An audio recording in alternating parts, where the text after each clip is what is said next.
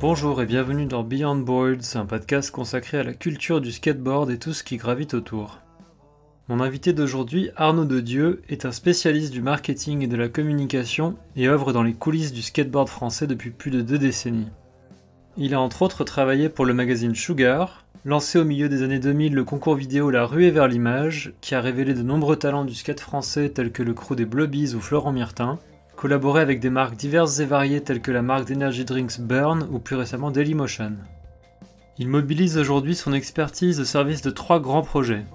D'abord, en partenariat avec Sébastien Charlot, il est à l'origine de l'incontournable podcast Big Spin dédié au skate français.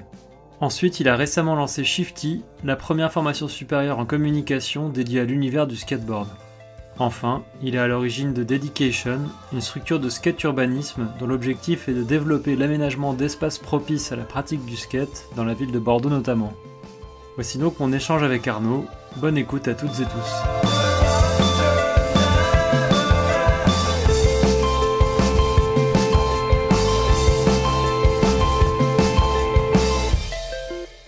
Bah merci encore euh, Arnaud, c'est cool, merci beaucoup. Non, merci. Merci de m'inviter, surtout de, de- de penser à moi. Je suis très honoré, de, très flatté d'être invité euh, dans ce podcast. Ouais, non, non, c'est super gentil. Et ouais, j'avais évidemment envie de parler avec un des, un des auteurs de Big Spin. Et entre autres, mais tu fais beaucoup d'autres choses, donc, euh, donc on va, on va en discuter justement. Mais Hmm. t'as grandi à Orléans, il me semble. On, s'était dit ça l'autre jour ou? Oui, je suis originaire d'Orléans. J'ai grandi à Orléans. J'ai eu une année de césure à Annecy. Euh, après, je suis retourné à Orléans. Et puis après, Paris. Et aujourd'hui, Bordeaux. D'accord, ouais. Depuis, depuis 4 ou 5 ans, Bordeaux, c'est ça? Ouais, depuis 4 ans. Et avant ça, t'étais à Paris, c'est ça? Et avant ça, ouais, une bonne dizaine d'années à Paris. Je dirais, ouais, ouais, c'est ça. Mhm. Quand on a atterri à, à Bordeaux, il y avait Léo avait déjà entamé euh, un, un processus de médiation parce qu'il y, y avait Léo Valls, il y avait déjà du, des conflits d'usage et euh, la mairie mettait des amendes et tout ça et Léo était intervenu, il était allé à la télé locale et il avait dit ouais bah on se prend des amendes, c'est pas cool machin. Donc les élus de l'époque l'avaient appelé en disant euh, ok on organise des concertations, il faut qu'on trouve des solutions. Et ils ont créé un mini collectif euh, avec Léo, Vivien euh, Aurélien Gaucheran et puis quelques autres aussi de, de Bordeaux. Et ils ont proposé ces fameux horaires aménagés sur les places. Vous en parliez, je crois, dans son épisode de Big Ouais. Spin, ouais, que j'ai réécouté il y a pas longtemps. Ouais, voilà. Et il me semble que c'était inspiré d'une politique qui avait été mise en place au Canada. D'accord. Et donc ils font le test. Et à l'époque où je débarque, c'était le test de ces horaires aménagés, ce qu'ils ont appelé skatezen. Oui, voilà, c'est mot- ça. Un mot trouvé par la mairie. euh, bon, ok. Ouais, Parce ouais. qu'il disait, ouais, Léo, Léo, il est zen, il fait du yoga, il est zen, donc on va appeler ça skatezen. Ok, si vous voulez. Et moi, en fait, j'ai atterri à une exposition qui avait lieu à Arc en Rêve, le musée d'architecture de la ville de Bordeaux, et qui avait fait une exposition autour du skate, le rapport entre le skate et l'architecture. Hyper intéressant, de très belles photos, le, le tra- le travail aussi de, de Sario, mais pas que. Et Alain Juppé euh, vient à cette exposition. La culture, c'est hyper important. C'est vraiment euh, quelque chose qui officialise beaucoup, tu vois, dans, le, dans la société. Quand tu commences à rentrer dans les musées, c'est que tu commences à parler à, à tout le monde, en fait. c'est ça. Voilà, et donc euh, Alain Juppé organise lors de sa visite une concertation où il y avait aussi des, des riverains pour faire le constat du succès ou de l'échec de Skatezen. Mhm. Et ça se passe plutôt bien, on constate que ça marche plutôt bien, et surtout ils constatent aussi que les skateurs euh, ont des choses à proposer, euh, sont parfois plus posés aussi que les riverains, parce que les riverains ils, ils subissent un désagrément, donc ils viennent protester, et c'est vrai que les skateurs, eux, ils viennent plutôt euh, en, en essayant de- d'apporter des solutions par rapport à, à- à une nuisance qui- dont ils sont les générateurs. Ouais. Donc, euh, à cette concertation, j'ai parlé de l'exemple de, de la Scandinavie. J'ai dit, bah, Mhm. je suis allé en Scandinavie, et voilà, eux, ils font ça. Ils anticipent en fait les aménagements, et ils font en sorte que le skate dans l'espace public ne soit pas une gêne. Pourquoi? Parce que c'est placé au bon endroit, parce que c'est les bons matériaux. Ils étudient ça, et souvent, ils le font en amont des aménagements. C'est-à-dire, ils réfléchissent avec les urbanistes et les architectes à dire bon bah comment on peut mettre du jeu dans l'espace public? C'est pas que le skate, hein. c'est d'une manière générale le jeu dans l'espace public. Ouais. Et donc mon exemple c'était euh, skate Malmö, ni plus ni moins. Et euh, Mhm. je parle de ça. Et Juppé, donc c'est appuyé par d'autres dans l'assistance, notamment Nicolas Maniuski qui lui aussi a atterri à Bordeaux. mais aussi des architectes parmi les skateurs. Et euh, Juppé dit bah, Je regrette qu'on n'ait pas réfléchi à tout ça avant. Vous savez qu'il y a beaucoup d'aménagements qui sont en prévision à Bordeaux. Il faut qu'on travaille ensemble là-dessus. Mhm. Moi, à l'époque, j'étais aux acédiques, euh, j'avais un peu que ça à faire. Et je, je dis, bah ok, euh, il y a une réunion qui est prévue avec la mairie dans trois mois. Je, je vais apporter ma contribution à ce projet. Donc moi, je savais faire des présentations. Tu vois, je savais présenter Oui. des choses euh, devant des, des officiels. Je savais euh, présenter une stratégie et, euh, et quelque part vendre des idées. C'est ce que je fais. Je, je suis, je- Ouais, je suis bien sûr. directeur de création. Tu vois, donc. Mhm. on monte un collectif. Donc, il y avait des architectes, il y avait Léo, il y avait des skateurs, il y avait des gens aussi des associations. Et finalement, on fait cette, cette réunion auprès de la mairie. Et Juppé dit à, à ses élus, à l'ensemble de ses élus au service technique, il a dit, vous avez compris, il faut qu'on travaille avec eux maintenant. Ce qu'ils nous ont proposé, en fait, c'est la solution. Parce que sinon, on s'en sort pas. euh, Mhm. il y a un truc que, que reprennent les élus aujourd'hui et que je trouve très juste, c'est que tu peux pas gommer la réalité en fait. Des fois, les gens, ils aimeraient bien qu'on leur gomme la réalité, mais la réalité, c'est qu'il y a du skate dans l'espace public. Qu'ils le veuillent ou non, il y en aura, quoi. ouais, Qu'ils le veulent ou non, il y en a. Donc il va, va bien falloir trouver des solutions pour ça. Et vous aurez beau se créer des skateparks, vous allez créer encore plus de skateurs dans l'espace public. Ouais, exactement. Donc c'est pas les skateparks qui vont résoudre euh, les problèmes. Enfin, si, si on peut appeler ça un problème. En fait, si tu acceptes que c'est une pratique aujourd'hui des usagers, bah tu essayes de composer avec. La vérité, c'est qu'aujourd'hui, à Bordeaux, et alors qui plus est depuis le confinement, on a calculé, il y a au moins 60 000 pratiquants sur la métropole. Ouais, c'est incroyable. C'est genre, énorme. un samedi à Bordeaux, c'est comme si tu prenais République à Paris et que tu, tu le multipliais par euh, 20 petites places. Il y a des places, c'est un carnage. Genre- Ouais, donc il y a Ah, besoin ouais. de. Tu vois, tu, tu peux pas. Et puis, si tu commences à mettre des amendes aux skateurs, tu vas mettre des amendes à, à des petites filles de 8 ans, en fait. Ouais, c'est ça. Bah ouais, parce que le skate, tu vas mettre des amendes à des, à des mecs de 50 ans. Donc, euh, Ouais, ouais, ouais. en fait, prenons acte des désagréments, à savoir euh, euh, le bruit, numéro 1. Comment on peut faire en sorte, tu vois, d'atténuer les nuisances sonores? Ça, c'est la première chose. Mhm. Ensuite, il y a, il y a la dégradation qui, pour moi, est pas un sujet. Enfin, pour moi et pour d'autres, Mm. mais c'est pas un sujet. Pourquoi? Parce que si tu prends euh, euh, l'exemple de la ville d'Orléans que je connais bien, Mhm. il y a 20 ans, ils ont voulu faire un skatepark. Ils sont venus voir les skateurs, pas fédérés, en disant Bah, vous voulez un skatepark? Comment on fait? Ils ont lâché l'affaire parce que les skateurs ne savaient pas s'organiser pour le faire. Et en fait, il y a l'évêque d'Orléans qui a autorisé le skate sur la- le parvis de la cathédrale. Il s'est dit Moi, tant qu'ils respectent les cérémonies, c'est OK en fait. Je suis OK avec ça. Mhm. Par contre, je veux qu'ils respectent les cérémonies. Et s'il y a des skateurs, il n'y aura pas des gens qui squattent et qui, pour moi, sont plus nuisants qu'eux, en fait, tu vois. Si on doit considérer qu'ils sont nuisants. Mais alors, la Oui. vérité, c'est que sur le parvis de la cathédrale, on n'embête pas grand monde, quoi. Mhm. Eh ben, ok, le parvis de la cathédrale, 20 ans après, c'est un champ de bataille. Mais tu vas rénover le parvis de la cathédrale d'Orléans, tu vas changer quelques dalles, quelques murets. Allez, euh, au grand max, tu vas dépenser euh, 100, 200 000 euros pour ces travaux. Mais Mhm. c'est 20 ans de pratique. Ton skatepark, tu l'aurais construit il y a 20 ans, t'aurais pas résolu le problème du skate sur le parvis de la caté, et t'aurais dépensé peut-être 500 000 euros, 800 000 euros dans un skatepark, que de toute façon, t'aurais dû rénover au bout de 20 ans. Ouais. Donc tu vois, l'addition, elle est double.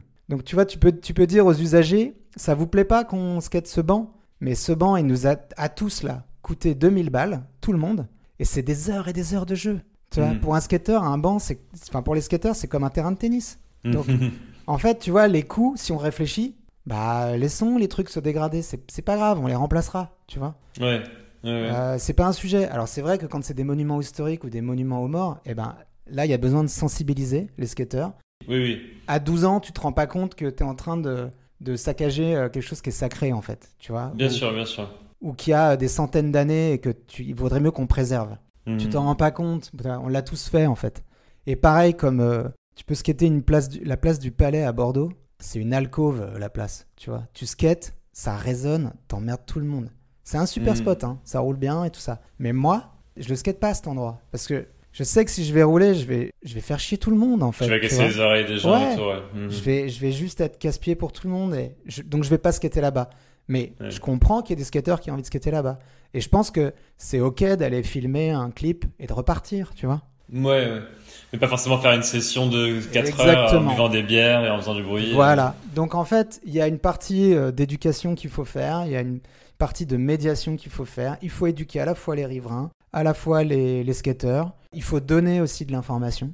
Tu vois, chose, chose qu'il n'y a pas. C'est-à-dire, euh, euh, là aujourd'hui, on a la chance d'utiliser des applications. Et il y a une app, une app géniale qui va bientôt, euh, qui est déjà opérationnelle, mais qui sera, je pense, euh, 100% opérationnelle d'ici quelques mois, qui s'appelle Shiner.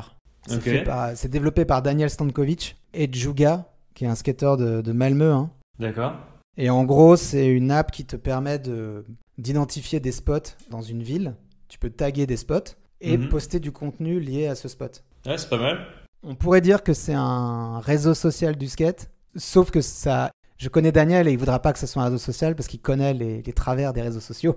Mhm. Il en fera pas un truc euh, addictif, euh, tu vois. euh.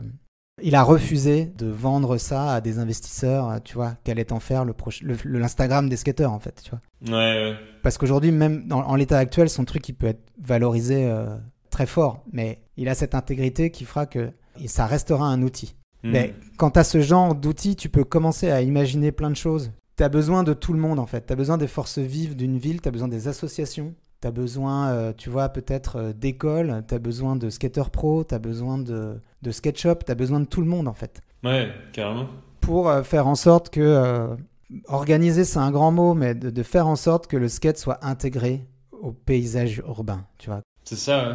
et donc on a on a bossé là-dessus on a fait un il a fallu se structurer parce que à partir du moment où tu te dis bah d'abord il faut faire un schéma directeur. C'est le premier travail qu'on a fait. C'est de faire un état des lieux de la pratique à un instant T. En l'occurrence c'était en 2017 mais de Mhm. regarder c'est quoi là où est-ce qu'on skate? Où est-ce que ça présente des nuisances? Où est-ce que c'est toléré? Quels sont les futurs aménagements, qu'est-ce qu'on peut développer comme quartier ou non?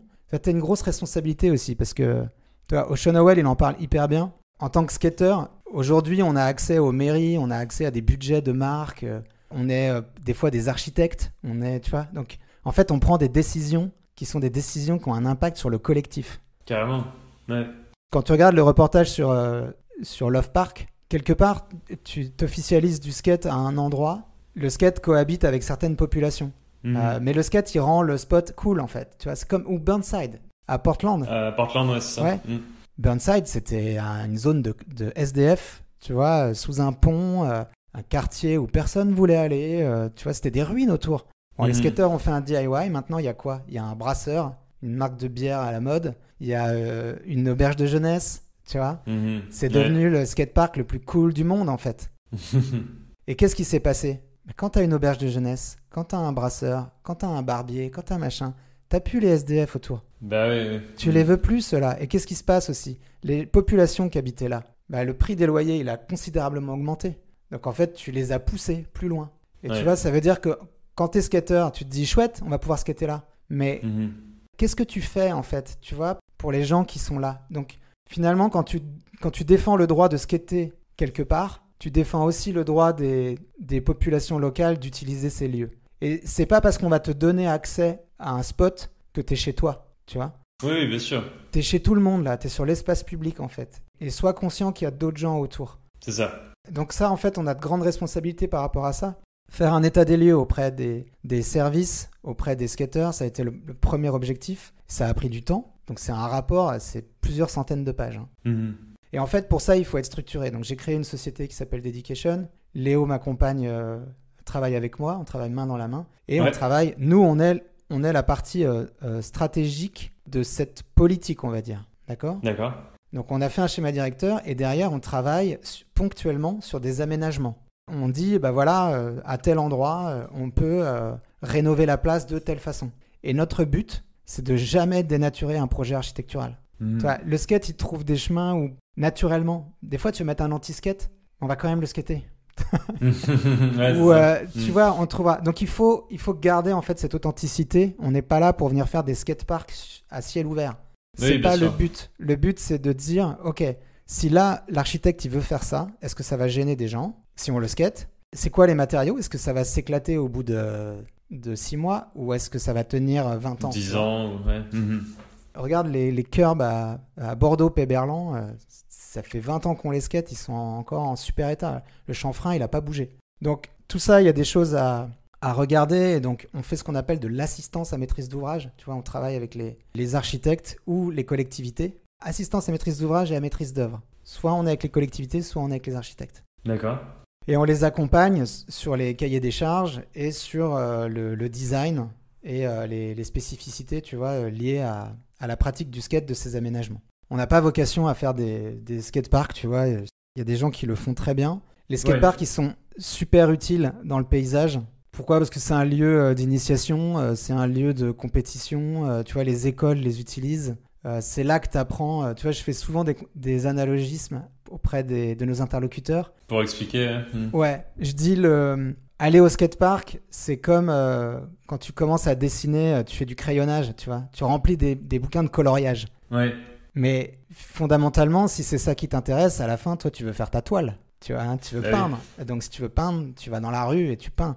Mhm. Tu vois, tu fais, t'auras beau faire des piscines, les gens, ils vont à l'océan. Et à l'océan, tu peux faire plus de trucs que dans une piscine. C'est ça. Ouais, ouais. Donc, euh, les deux sont, sont complémentaires. Complètement, ouais. Et en fait, je te, je te dis ça parce qu'on a, a eu besoin de se structurer en société et on a, nous, euh, notre pierre à apporter à l'édifice. Mais euh, derrière, par rapport au collectif initial, ce qui est important, c'est que chacun puisse apporter aussi sa contribution. Mhm. Dans le collectif initial, il y avait des architectes qui aujourd'hui nous sollicitent pour euh, répondre à des appels d'offres sur des futurs aménagements. Il y a euh, des présidents d'associations qui nous sollicitent euh, ou qui, eux, par exemple, vont travailler sur des sujets plus de médiation avec la ville. Tu vois, là, en, ce- en ce moment, on parle beaucoup, on fait beaucoup de concertation avec les riverains. C'est hyper intéressant. Je pensais pas, je pensais que c'était un endroit où les gens, tu vois, ils, ils se plaignent et euh, t'arrives à des discussions stériles, tu vois, où tout le monde, tout le monde essaye de crier plus fort que l'autre. Mhm. Au final, ça dépend de la posture dans laquelle tu viens, mais moi, j'ai énormément de compassion pour les, les, les, les riverains, tu vois, qui disent euh, c'est insupportable, tu vois, Mhm. J'habite au-dessus sur cette place et j'en peux plus, quoi. Tu vois, ils ont presque les larmes aux yeux. Ils te disent j'en peux plus. Sur un bout de nerf, quoi. Voilà. Ouais. Et tu dis écoutez, madame, je, je comprends en fait. On va trouver des solutions, rassurez-vous. Et eux, ce qu'ils demandent, Mhm. c'est qu'on foute des amendes. Et je leur dis madame, ça, ça marchera pas. Ça va pas régler le problème, ouais. Ça va pas régler votre problème, ça va créer des tensions. Mais mettez des arrêtés, mettez des interdictions. Comme ça, ils viennent pas. Et je dis non, Mhm. madame, les- déjà les arrêter. Alors ça, c'est la, pos- la posture des élus d'aujourd'hui que je trouve très intéressante. Tu sais, on- à Bordeaux, on a changé de mairie. C'est maintenant, c'est des écologistes. Ouais. Et eux, ils disent, bah, quand tu veux prendre un arrêté pour interdire une pratique, il faut pouvoir le justifier, sinon ça fait jurisprudence sur toutes les autres places de même nature. Donc si je mets un arrêté sur cette place pour la pratique du skate, il faut que je puisse le justifier partout ailleurs. Ce qui est impossible. Tu comprends? Ah ouais, C'est impossible. Et la plupart des arrêtés, ils sont valables qu'un certain temps. Tu dois les renouveler.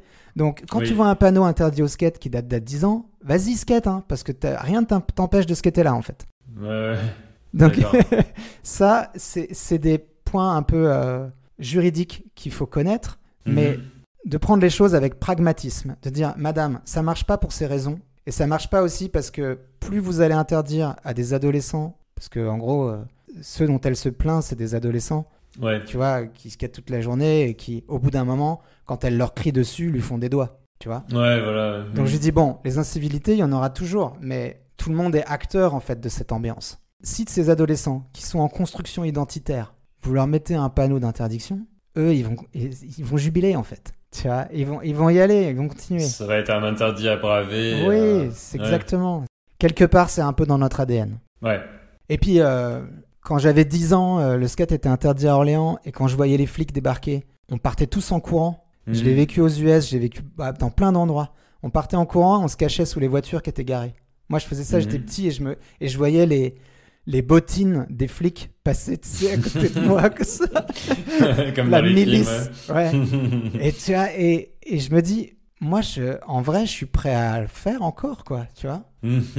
J'ai pas de problème avec ça. Donc, euh, vous y arriverez jamais, tu vois. Surtout aujourd'hui. Enfin, Et puis, on leur a dit, qu'est-ce que tu veux empêcher des familles de, de jouer sur l'espace public? Est-ce que l'espace Bah ouais. public, on a envie que ce soit un endroit où on consomme seulement, où on va travailler? Ou est-ce qu'on a envie que ce soit un espace social et, tu vois, euh, Et vivant, ouais. et vivant C'est toutes ces questions qu'il faut se poser. Donc, euh, Ouais, carrément.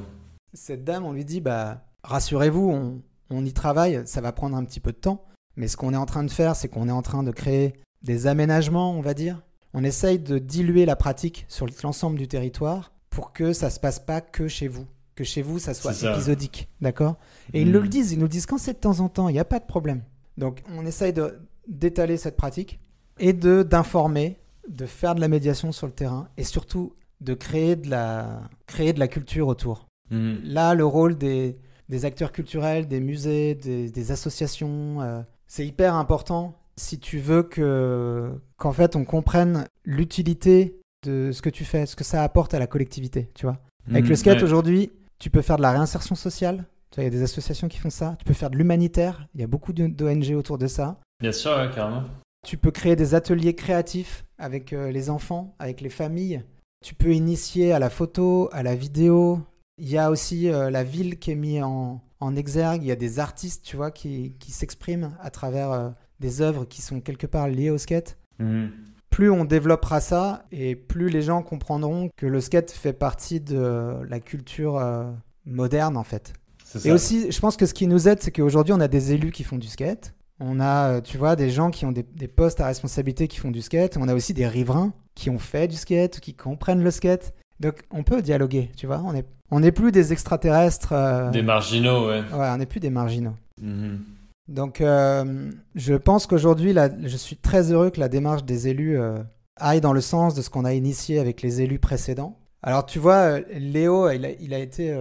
tout le monde a son, son rôle à jouer et, et moi, je suis très fier de Léo. Parce que il- au tout début, il avait jamais travaillé sur des sujets comme ça. Son expérience en entreprise, elle était assez limitée. Mhm. Et je vois en peu de temps, tu vois, il sait écrire des mails justes. Ça, c'est hyper important. Il sait faire des présentations, il sait être synthétique et surtout, il a un travail de, de lobby. Il se mouille, Léo. Ouais. Il y a une semaine, il a appelé euh, l'élu parce que il y a eu un couac avec la police municipale. Ils ont commencé à remettre des amendes. Ok. Quand ils passent une fois et qu'ils disent euh, Ouais, les gars, arrêtez de skater là. Bah, la troisième fois, en fait, il, si pas Ouais, navigé, ils verbalisent, quoi. vois, ils verbalisent. Ouais. Et euh, il était 15h et ils ont, pris, euh, ils ont été verbalisés pour nuisance sonore. On a vu l'amende. Donc il a envoyé l'amende aux élus. Il a dit Eh, comment on justifie ça en fait? Comment tu justifies qu'à 15h, tu fais du tapage en plein centre-ville? Non, c'est pas sérieux. Mhm. Et il a dit aux élus Moi, je vous préviens, hein, si vous mettez des amendes aux skateurs, on va arrêter de travailler ensemble en fait. Et ils ont fait Non, non, mais il n'est pas question de ça. Il se mouille, même pour son image. Tu vois, euh, c'est quoi l'image corps d'un skateur aujourd'hui? C'est. euh, T'es tatoué, tu fumes des clopes, t'as une petite moustache et. Et tu, tu vois ce que je veux dire? Ouais. et, et ben, franchement, d'aller parler aux élus euh, dans l'image du skateur glam, c'est pas cool. Mhm. Ben, il, il le fait, il se mouille. Et puis voilà, de toute façon, Léo, il a toujours fait ce qu'il avait envie de faire, ce qu'il trouvait bien. Il a son style de skate. Je trouve qu'il a pas peur de défendre les valeurs qui lui semblent importantes. Carrément. Et en fait, Ouais. le fait de pouvoir skater en ville, j'anticipe un peu sur les histoires de, de culture que je sais que tu voulais qu'on aborde. Ouais. Mais le fait de pouvoir skater en ville, c'est fondamental. Parce que, encore une fois, je, je n'ai rien contre les skateparks. Je trouve ça super. Tu vois, c'est un endroit où tu vas skater, tu sais que t'embêteras personne, c'est fait pour ça. Mhm. Si tu as envie d'apprendre un trick, c'est tout, tu peux le répéter, tu as tout ce qu'il faut, ça a été pensé pour. Tu progresses très vite, tu vois le niveau des kids aujourd'hui par rapport à la rapidité d'a- d'apprentissage, c'est extraordinaire. Ouais, carrément. C'est aussi l'évolution de l'homme, tu vois, ça va toujours un peu dans ce sens-là, mais pour toutes les activités, c'est vrai. Mais plus tu as d'infrastructures et plus ça aide. Mhm. Donc c'est tout ça pour te dire que le skatepark, je trouve ça très bien. Mais encore une fois, dans le skatepark, ton environnement, il va être très limité. Et alors encore pire si tu fais des contests, c'est-à-dire que tu as un temps qui t'est donné pour t'exprimer, tu as certaines figures qui sont valorisées, on t'impose de skater une diversité d'agrégats, enfin tu vois, tout ça, c'est un canevas. Mhm. Et plus on va te mettre de règles, plus tu vas être contraint en fait, et moins tu pourras, moins il y aura d'accidents qui au final fait que euh, il y a des innovations, il y a des choses nouvelles qui se créent, il y a tu vois, il y a des gens qui s'expriment, il y a des identités, des, tu vois, de la culture tout simplement qui se développe en fait. Ouais. Donc pour nous c'est c'est hyper important parce que bon on est euh, la pratique street. Tu vois, je connais pas les chiffres aujourd'hui, mais je sais qu'il y a encore quelques années, à la Fédération française de skate et de roller, c'était 1000 skateurs. Combien? 1000. Pour toute la France? Non. Ouais, il n'y a pas hyper longtemps. Sérieux? Ouais. Ah ouais, ça, ça paraît totalement dérisoire. ouais. Ça paraît dérisoire, mais imagine il y a 10 ans. On parle pas des JO, on- tu vois, il n'y a pas autant de skateparks et tout ça. Mhm. Je n'ai pas été vérifier personnellement les comptes de la Fédé. Faudrait voir s'ils confirment ce que, je, ce que je dis.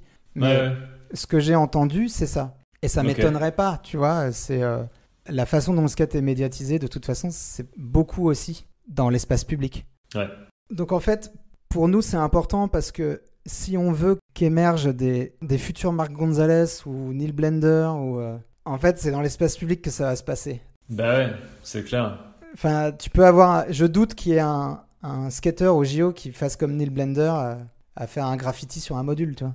Ouais, oui, je me rappelle de cette image. Ouais, et ça, elle, elle est, c'est iconique et ça veut tout dire de la culture skate. C'est ça, ouais. Quelque part, si tu veux que tout ça émerge, alors je reviendrai sur ces questions-là parce qu'il n'y a pas que ça. Il y a énormément de paramètres, mais le street en fait partie, quoi. C'est une pierre essentielle, je pense. C'est ce qui fait que ça sera différent des autres activités. Tu vois, la, la NBA, qu'est-ce qu'ils ont fait? Il y a des règles, il y a un terrain, Mhm. c'est une ligue. Ils sont pas là pour rigoler, quoi. Ils veulent qu'il y ait des spectateurs. Donc euh, Iverson, qui vient habillé euh, avec sa culture de la rue, comme un rappeur, ils disent non, non, Coco, on va arrêter les conneries là, tu vas mettre un costard maintenant. Donc tous les, les joueurs qui sont sur le banc, ils doivent mettre des costards. Donc Mhm. déjà, ton moyen d'expression, là, tes vêtements, tu les retires. Ouais. Les bagarres qui éclatent dans la NBA, si tu veux éviter les bagarres dans la NBA, qu'est-ce que tu fais? Bah tu crées une règle pour plus que les mecs se touchent. Donc tu crées le hand check. Bah regarde la, vi- la, la NBA avant le hand check et la, la NBA après. Tu vois, là, donc la NBA de Jordan et la NBA de LeBron James, c'est pas du tout les mêmes matchs. Tu vois Ouais, ouais, ouais. Non, c'est clair. et les mecs qui ont été fascinés par la NBA, tu vois, les puristes, on va dire, finalement, c'est ces années-là, tu vois, qui les ont marqués. Ils vont te, ils vont te parler de Jordan, de, des, des Pistons, tu vois, le- de la bagarre, du, du, du- le brawl du Palace Center, tu vois, à Détroit. Bon, ben, ça, ça n'arrivera plus. Et Mhm. pourquoi la NBA veut pas que ça arrive?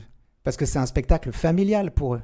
Ouais, c'est ça. C'est plus intéressant d'avoir des familles qui vont dépenser en tickets moyens. Donc, tu as le père, des fois la mère, euh, ou l'inverse, plus les enfants, par exemple, qui vont venir voir un spectacle familial. Qu'est-ce qu'ils vont faire? Ils vont acheter des hot dogs, ils vont acheter des Doritos, ils vont, tu vois ils vont acheter des maillots. Ils vont... Eh ouais, eh ben le bise, il grossit. Alors Ouais. que si t'as que des hooligans dans le stade, c'est mort. Tu vois, les mecs qui vont arriver, ambiance, ouais. ils seront déjà peintés, ils vont rien acheter là-bas. Donc en fait, ça répond à des logiques économiques. Donc Ouais, bah ouais. je pense que ce qui fait que le skate aussi se distingue, c'est vraiment, et ça, ça tient beaucoup au fait que c'est une activité de rue. Ouais. C'est ce qui fait que, tu vois, euh, les années 70, c'était ce qu'elles étaient avec le skate, et finalement, elles sont assez comparables à ce qu'on peut voir aujourd'hui avec euh, la Street League ou, euh, ou les futurs JO. Ouais.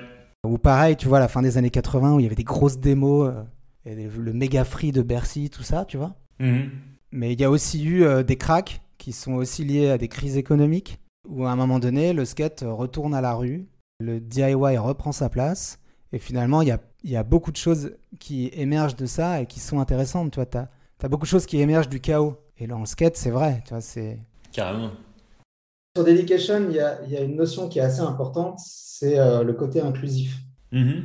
C'est-à-dire qu'à partir du moment où tu fais des aménagements euh, dans l'espace public, tu es censé penser à tout le monde. Donc évidemment, on pense aux usagers, aux riverains, aux piétons, parce qu'il y a aussi une histoire, tu vois, de, de gestion de ces flux piétons pour pas créer de Ouais, d'embouteillage. euh, Ouais, et mhm. puis il y a aussi euh, quelque chose que nous, on a du mal à percevoir, mais il y a certaines populations, un skate, ça les effraie à côté d'eux. Ouais, Donc c'est, il faut être un peu aussi, je pense, vigilant à ça. Et donc quelqu'un qui a pas l'habitude euh, de ces jeux sur l'espace public va pas toujours anticiper comment se positionner dans l'espace par rapport à ça. ouais. Tu vois, tu, tu peux traverser une place où il y a des skateurs partout. Comment tu fais là, tu vois, par où tu Ouais. passes?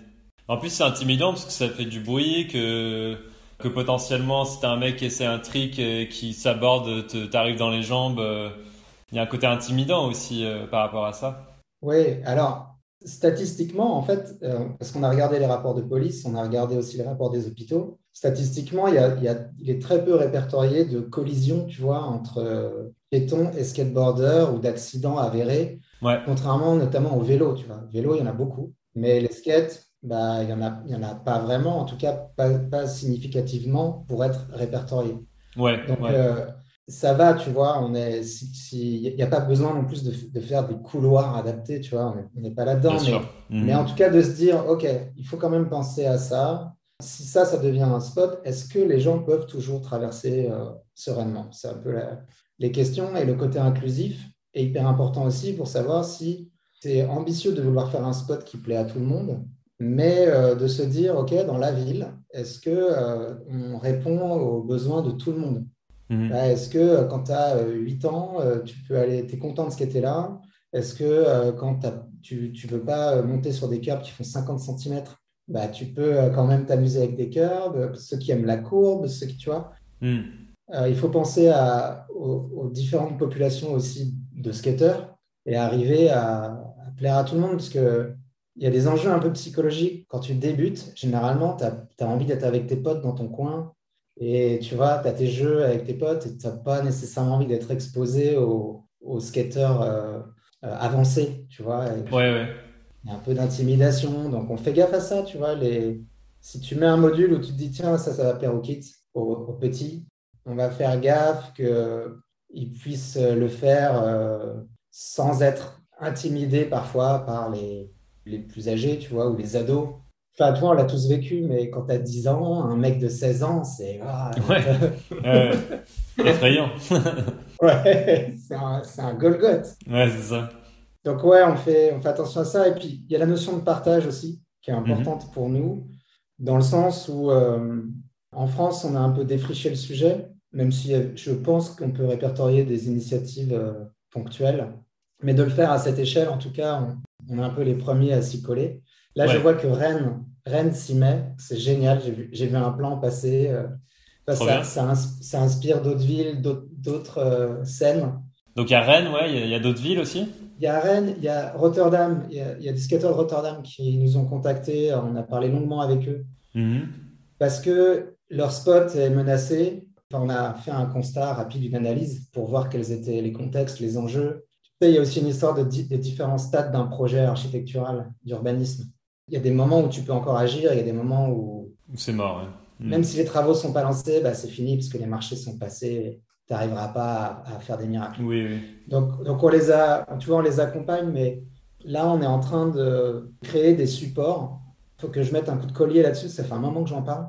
Mais je veux vraiment créer euh, des supports qui, qui, donnent en fait des clés de compréhension, à la fois pour euh, les collectivités, qui mhm. cernent un peu plus les enjeux de tout ça, mais aussi pour les, les activistes locaux qui auraient envie, euh, tu vois, de, de... suivre votre exemple. Ouais, ouais et d'initier un dialogue avec, euh, avec la ville. Ou, euh.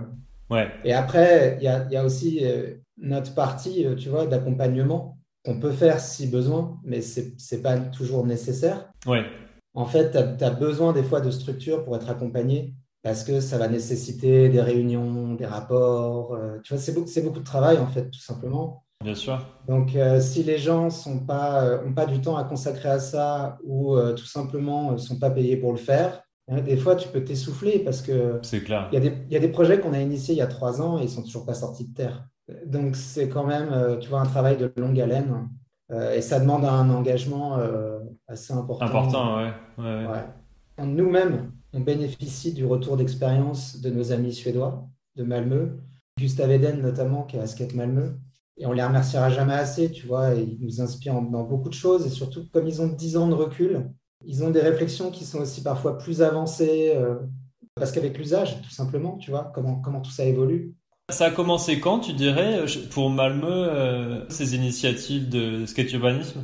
Il y a une dizaine d'années. Et ils ne sont pas partis du même postulat. La réflexion des Suédois, c'est on crée des événements, donc on doit, euh, je ne sais pas, créer des spots ou des modules qui euh, sont en bois et qu'on achète et qui vont être détruits. Donc eux, ils se sont dit comment on peut faire quelque chose de pérenne? Durable.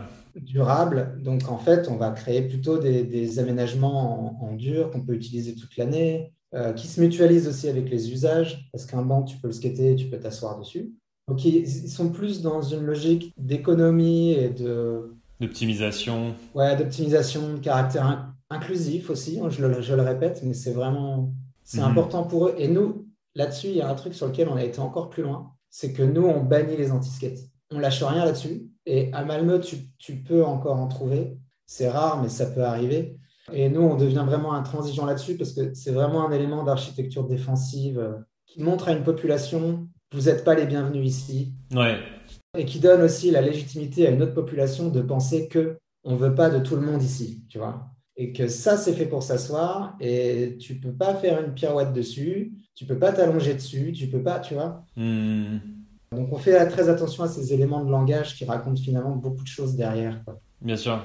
Quand il y a des, des riverains qui excédés disent mettez des anti-skates, ça jamais. Quoi. Et Ouais. euh, on a aussi beaucoup de chance d'être suivi par les élus qui pensent la même chose, qui disent nous, c'est pas dans notre ADN de présumer de la nuisance d'une population ou d'un usage. Donc, euh, ouais, l'espace public, il est pour tout le monde. On va, on va, on va trouver des solutions là. Mhm, mhm. Il y a des initiatives similaires à, à vous, à, Paris ou pas? A priori, oui, euh, notamment euh, Place de la République. Ouais. Je sais que Santiago, Santiago Sasson, il a designé notamment un, un aménagement. Il y en a d'autres qui avaient été apportés par Volcom. Et surtout, ce qui est intéressant à- sur la place de la République, c'est que tu as TVK, les architectes de, de la place, les Mhm. urbanistes, qui ont, à une certaine phase avancée des, du projet, la mairie euh, leur a dit, mais euh, ça va pas du tout, là, il va y avoir plein de skateurs, en fait, euh, là-dessus. euh, les Mhm. bancs, les jardinières, et comment vous faites, là, comment vous faites? Il faut empêcher ça, en fait. Eux, ils ont dit non, surtout pas. Euh, nos jardinières, elles sont suffisamment robustes. S'il faut, on retournera les blocs le jour où elles seront trop usées. Ouais. Mais laissez-les, ce que vous voulez, c'est une place qui vit, vous voulez créer de la cohésion sociale. Donc, laissez faire les choses, vous verrez aussi que ça apporte beaucoup de choses positives. Carrément. Et c'est le cas, alors nous, on est les premiers à en bénéficier, mais je connais bien la vie de ce quartier, puisque les bureaux de Sugar étaient pas loin. Et oui, on est tous heureux de, de voir l'activité que ça génère. Ouais, bah, c'est devenu le, le spot euh, de rendez-vous à Paris, quoi. Mhm. Ouais, ouais, ouais. Et puis je crois qu'il y a un peu des, des initiatives euh, aussi euh, localisées, comme euh, Place de la Nation, Avron aussi. Oui, c'est ça. J'ai vu beaucoup d'images de ça récemment, ouais, de Sylvain Tegnelli et d'autres euh, qui skataient ce, ce spot. ouais. Mm. Donc voilà. je- Et puis, euh, tu vois, typiquement aussi, on a été un peu en contact avec les Lyonnais et surtout avec Fred Mortagne pour, euh, dans l'opération de sauvetage de l'hôtel de ville à Lyon. Spot iconique et très important pour Bien notre communauté internationale. euh, ouais, ouais, ouais, bien au-delà de la France, c'est clair. hein, Oui. C'est devenu un spot mythique, ouais. Ah ouais, ouais. Et euh, donc voilà, on a un peu échangé pour essayer d'apporter euh, notre euh, contribution dans, dans leur, dans leur démarche. Mhm. Et je sais que c'est pas terminé, hein. Il y a un autre projet qui est en cours, donc Sur l'hôtel de ville, sur la place? ouais, ouais. Il faut qu'ils continuent, il faut, faut pas qu'ils lâchent l'affaire. Mais bon, ils sont motivés, il y a, il y a quand même maintenant des retours d'expérience. euh. plus il se passe de choses, plus c'est des exemples aussi. euh. J'ai l'impression que le Covid va nous aider aussi là-dedans. Dans quel sens? Bah, dans le sens où, les, tu vois, là, les, les sports fédéraux, ils ont pris, euh, ils ont pris cher là, pendant, depuis un an, parce que euh, bah, faire des sports d'équipe, c'est compliqué. Ouais, c'est mais, ça. mais skater, là, c'est beaucoup plus facile. Et donc, tu vois, finalement, quelque part, on est obligé d'accepter des usages qu'on n'acceptait pas nécessairement avant, et de se dire, bah oui, ça existe. Mhm. Donc, comment on s'organise euh, Tu vois, c'est quand même un grand bouleversement euh, qui amène à des, à des regards différents aussi maintenant sur les choses, je pense. Ouais, Là, on voit euh, typiquement, vraiment, je vois beaucoup de, de couples ou de familles qui vont, qui vont skater. Je ne voyais pas ça avant, tu vois. c'était beaucoup plus individuel. Ouais, ouais. Donc, ça, de- ça devient un sujet euh, pour tous. Ouais, absolument. Et après, il y a, y a eu, y a, tu vois, il y a d'autres exemples. Il y a, des exemples en Autriche. euh, Nos amis de Toronto commencent à, à- à réfléchir à tout ça aussi. euh. Je pense que ça, ça, ça fait son chemin, en fait, petit à petit. Tant mieux, c'est génial. Ouais, ouais, c'est inspirant, c'est cool. Ça, j'espère qu'il y aura beaucoup, beaucoup d'initiatives comme ça dans d'autres villes en France et, et ailleurs. Oui, puis tu sais, en fait, le truc aussi, c'est que ça apporte de la diversité. Ça crée une tolérance globale qui fait que, dans de toute façon, même si tu n'as pas envie d'aller skater des spots qui ont été plus ou moins euh, réfléchis, anticipés, et que tu veux rester, même si tu es 100% puriste, tu peux toujours skater euh, ton parking lot ou, euh, ou ton trottoir. Tu vois, ça Bien n'empêche sûr. rien. Non, c'est clair. Tant que tu respectes un minimum, euh, voilà, les gens et les éléments autour de toi. Enfin voilà, c'est, Ouais, voilà, je pense que tu fais pas des doigts à la mamie qui, qui te dit de- d'arrêter de, de, lui casser les oreilles. Ouais, en tout cas, tu vois, ça, c'est des choses qui, a- qui, qui appartiennent aux usagers, euh, à, ch- à chacun, tu vois. Euh, non, on est- en fait, on n'est pas là non plus pour dire ce qui est bien, ce qui est pas bien. C'est juste Non, bien sûr, bien sûr. un peu éveiller les consciences, tu vois. Mais Ouais. Non, c'est cool. En tout cas, c'est, c'est une belle initiative et ouais, j'espère que ça va continuer euh, sur cette euh, belle lancée, quoi. Ouais, c'est bien parti. En tout cas, à Bordeaux, on est, on est confiant là. C'est le, le, début d'une. Ça n'est que le début d'une belle aventure, je pense. Ouais, carrément.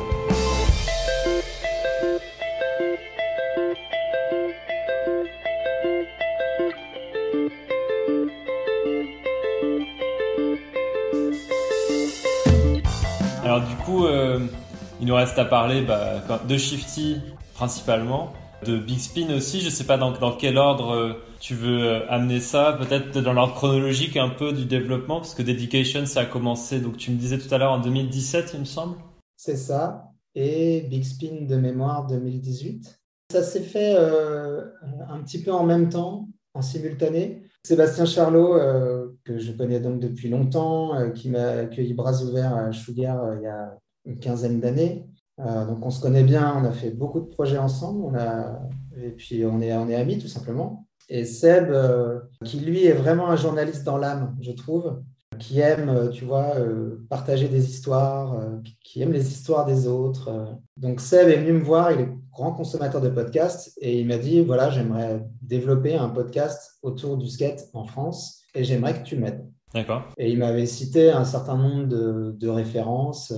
À l'époque, euh, on parlait un petit peu de No Fun, du Nine Club évidemment. Oui, Nine Club, ça a commencé en 2016 ou 2017 par là. C'est ça, ouais. Donc on était déjà, nous, des auditeurs. Et puis, euh, Seb, qu'on regardait beaucoup aussi, des, écoutait beaucoup des podcasts de société. Pas que de skate, ouais, parce qu'il n'avait pas tant que ça à l'époque. Euh. Il n'avait pas tant que ça. Et ce qui nous inspire est souvent extérieur au skate. Enfin, tu vois. Bien sûr, ouais. Et lui, il écoutait beaucoup de, podcasts justement sur euh, des histoires de gens lambda, tu vois, mais en tout cas, pas, des, stars, quoi. Pas des mhm. personnes connues, pas des... mais euh, des gens qui, ont, qui avaient une histoire euh, marquante. Euh, exemple cliché, mais une, une prostituée. Donc, au, travers de, de 10 épisodes, raconte sa vie et son parcours. Ses expériences, ouais. Mhm. Et hyper enrichissant. Et donc, lui, il, il m'a sollicité parce qu'il savait, je pense, que je maîtrisais bien la production de contenu grâce à mes expériences et notamment à, à Dailymotion. Mhm. Je maîtrisais aussi l'environnement digital, euh, euh, les process aussi, je pense, tu vois, même si quand on est deux à bosser sur un projet, c'est un peu ridicule de parler de process. mais quand même, tu vois, de se dire comment on optimise notre temps, comment on travaille. Bien sûr. Tu vois. Se répartit les tâches et compagnie. Mhm. Exactement, tu vois. Et puis comment on le distribue, comment on le partage, comment on fait, comment on fait en sorte que, vu le travail que ça représente et tu sais ce que c'est, il faut booker les invités, il faut monter, il faut préparer tout ça bah, autant que ça, ça fonctionne. Quoi. Mhm. Il y avait aussi la question euh, de s'équiper au niveau du matériel. Et euh, on s'est dit, bah, pourquoi pas en fait proposer ce format euh, aussi, tu vois, d'expliquer ce projet à des marques pour voir si ça les intéresse de, de qu'on fasse du contenu ensemble en fait. Parce que c'est vraiment pas l'ambition de départ. L'ambition de départ, c'est, je pense, de raconter la petite histoire du skate français quelque part. Mhm. Et, en fait, au travers, c'est ce que tu constates avec une de mes. Moi, mon influence, c'était beaucoup Crumble Incident, le blog. Oui, qui fait des interviews euh, un peu fleuve euh, de, figures emblématiques du skate, des Bobby Pouléo et compagnie. Et quand tu lis, en fait, ils en sont à plus de 100 interviews. Quand tu fais le, le recoupement, et tu l'as un peu avec le Nine Club aussi, quand tu fais le recoupement de toutes les histoires, tu commences à avoir une vision un peu plus objective de ce qu'a été l'histoire du skate. Carrément on connaît tous des skateurs, euh, plus ou moins leur parcours, mais on est toujours surpris de connaître leur point de vue et de, de voir en fait les ramifications, les... et puis les, on est friand d'anecdotes en fait, tout simplement, tu vois. Oui, puis les, les, personnalités aussi euh, derrière certains skateurs. Euh, bah, je, je, disais par hasard la Bobby Pouléo, mais mais c'est vrai que moi, avant le Nine Club, euh, je le connaissais pas trop et j'ai été surpris de, de découvrir qu'il est euh, taqué sur limite des trucs un peu de, conspiration, de trucs comme ça. J'ai vu aussi qu'il était un artiste qui récupérait des trucs euh, improbables dans la rue pour faire des, des collages. Alors que pour moi, c'était juste ce skater qui skatait les, portes métalliques inclinées là à New York et puis basta quoi. En tout cas, c'est intéressant aussi de connaître euh, la personne derrière le, skater, quoi, de, voir un peu sa, son identité, ses influences. Euh. Ouais, même, même, tu vois, pour des gens qu'on connaît déjà un petit peu, tu vois, Sylvain Tognelli, euh, c'est génial de l'écouter se raconter, en fait. Il y en a plein, tu, tu soupçonnerais pas, alors lui en l'occurrence, tu vois, je savais un peu à quoi m'attendre, mais Mhm. il y en a plein, tu soupçonnerais pas effectivement des, des- des passions, des, euh, des à côté du skate qui sont hyper intéressants. Et encore une fois, c'est la logique aussi de partager des choses grâce à ce vecteur, grâce à un médium. Oui. On a la même passion, je le connais pour son skate, et donc je, je suis euh, curieux et je vais m'intéresser à ce qu'il a à raconter. Ça, c'est le postulat, en fait. Tu vois, on pose, on pose des bases, et derrière, tu ne sais pas vraiment ce qu'il va raconter. Et c'est là où finalement, tu apprends des choses que tu n'aurais pas nécessairement apprises s'il n'y avait pas eu ce vecteur qui est le skate. Mhm. Donc, euh, c'est, je pense, un petit peu euh, l'idée derrière tout ça. Euh, il y a aussi un peu, je pense, l'idée de rendre hommage à des, à- aux gens qui, qui Qui ont fait le skate français, ouais. Ouais, Depuis 30 ans. Ce qu'il est, ce qu'il a été, ce qu'il est aujourd'hui. Ouais. On a envie de fouiller un peu, d'aller dans les archives, de dépoussiérer des dossiers.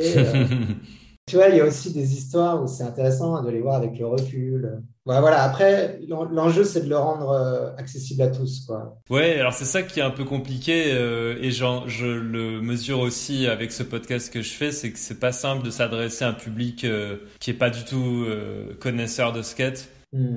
Et enfin même, je sais pas, de- depuis tout à l'heure tu vas en parles, tu m'as mentionné plein de gens qui sans doute pour le commun des mortels sont de parfaits inconnus. Tu vois, tu parles de Gonz. Ouais.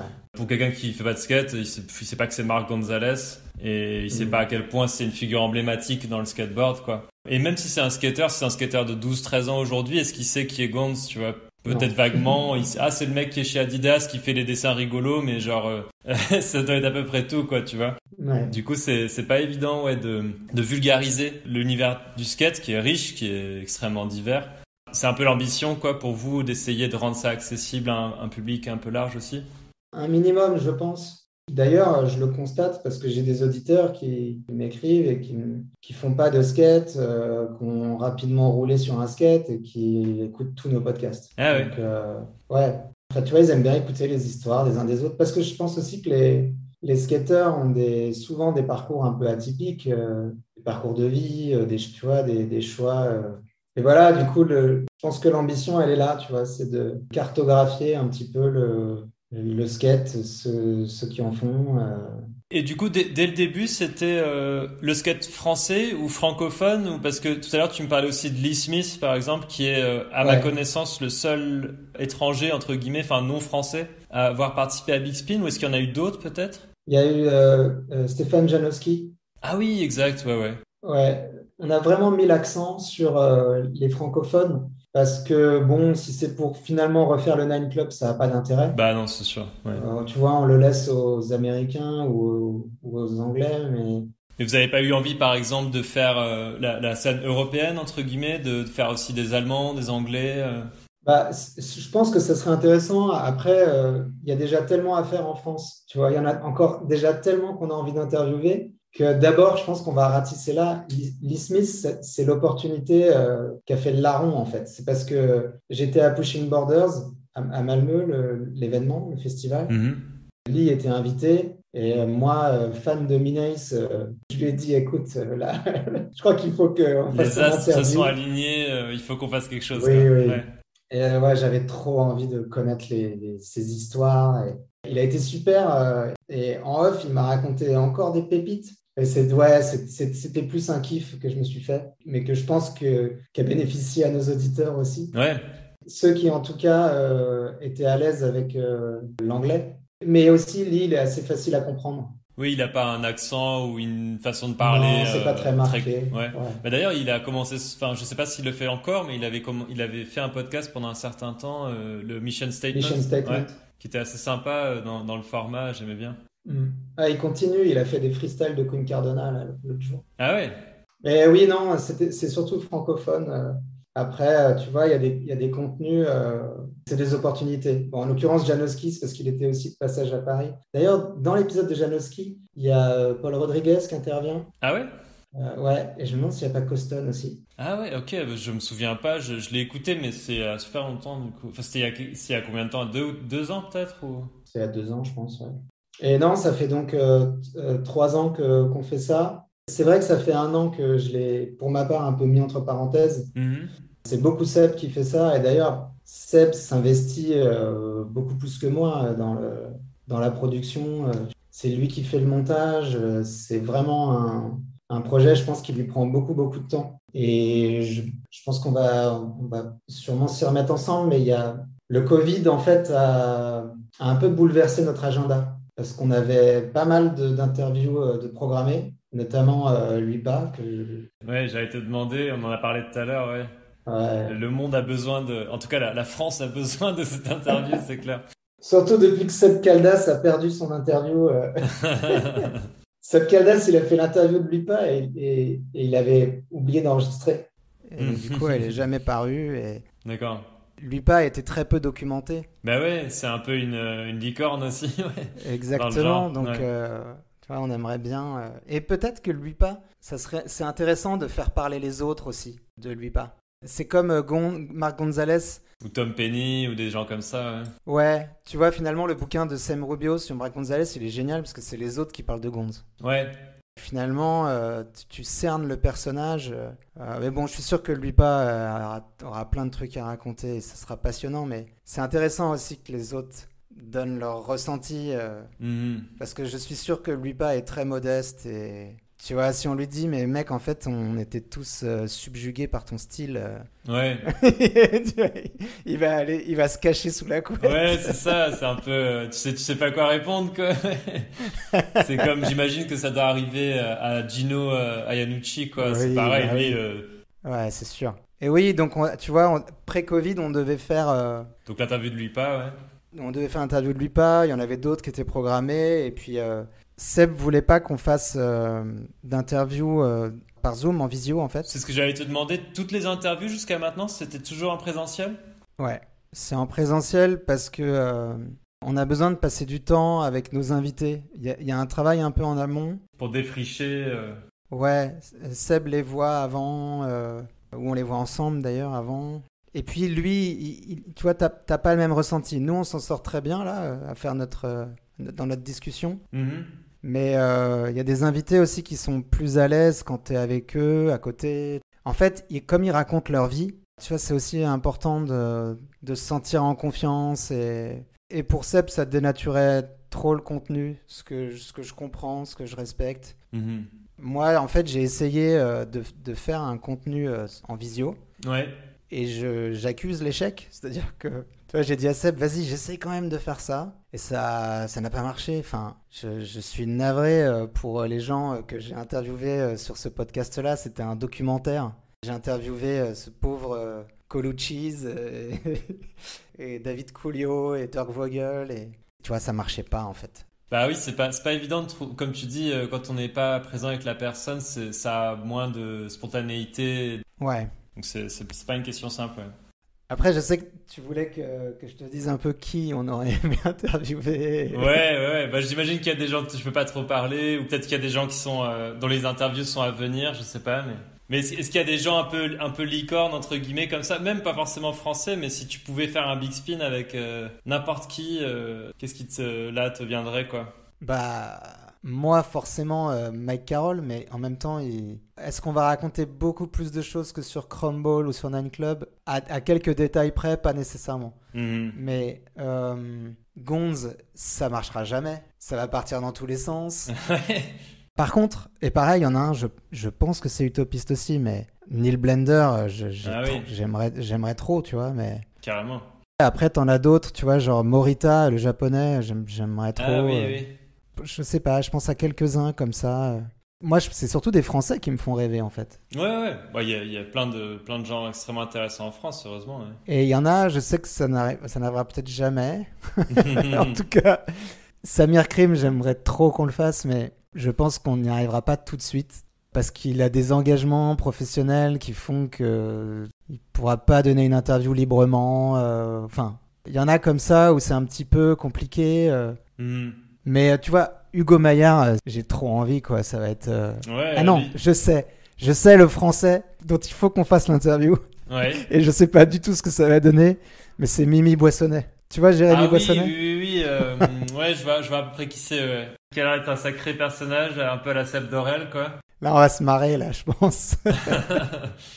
Il y en a d'autres, tu vois. Nils In, j'aimerais bien. Qui est, qui est un artiste aussi. Euh... Qui est un artiste, ouais. Mm -hmm. Et après, il y en a d'autres.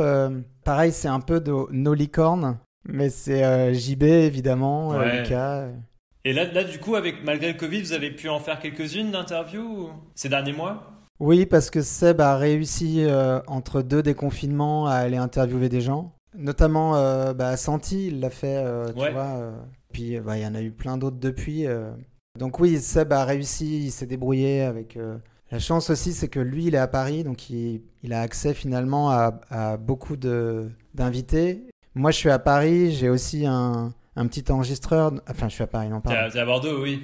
Moi, je suis à Bordeaux et donc j'ai un petit enregistreur et si besoin, je peux aussi euh, faire euh, un podcast. Mais on aime être ensemble, en fait, je pense. ouais. Je pense aussi qu'il y a une des motivations de Seb dans le fait qu'on le fasse tous les deux.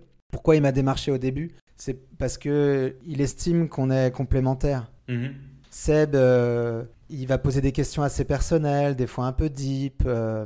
Ah, vous faites un peu le, le good cop, bad cop. euh, Pas vraiment ça, je pense qu'on est tous les deux des good cop au final. hein. Ouais. Tu vois, on n'est on est pas trop. Il y a des gens qui nous disaient, ouais, soyez un peu plus tranchant. ou, Ouais, poser des questions qui fâchent. Ouais. Ouais, exprimez-vous un peu plus. mais notre avis, il compte pas. Ce qui compte, c'est ce que les gens ont à raconter, tu vois. Ouais, je suis d'accord. Et du coup, moi, j'apporte peut-être ce truc un petit peu plus, des fois, naïf et geek. Je vais dans les détails, tu vois, de choses euh, un peu, pas de geek, mais de nerd plutôt. Mhm. Et donc, ça, je pense que ça équilibre tout simplement. Et, et une interview, mener une interview à deux, c'est beaucoup plus reposant aussi. Parce que tu peux prendre de la distance pendant l'interview et à un moment donné, tu te dis Attends, où est-ce que ça va là? Et ça fait, euh, ça fait des interviews plus riches, mais un peu la dynamique de, du Nine Club avec euh, Roger et tu vois, les Kelly et. Chris Roberts. Ouais. Mhm.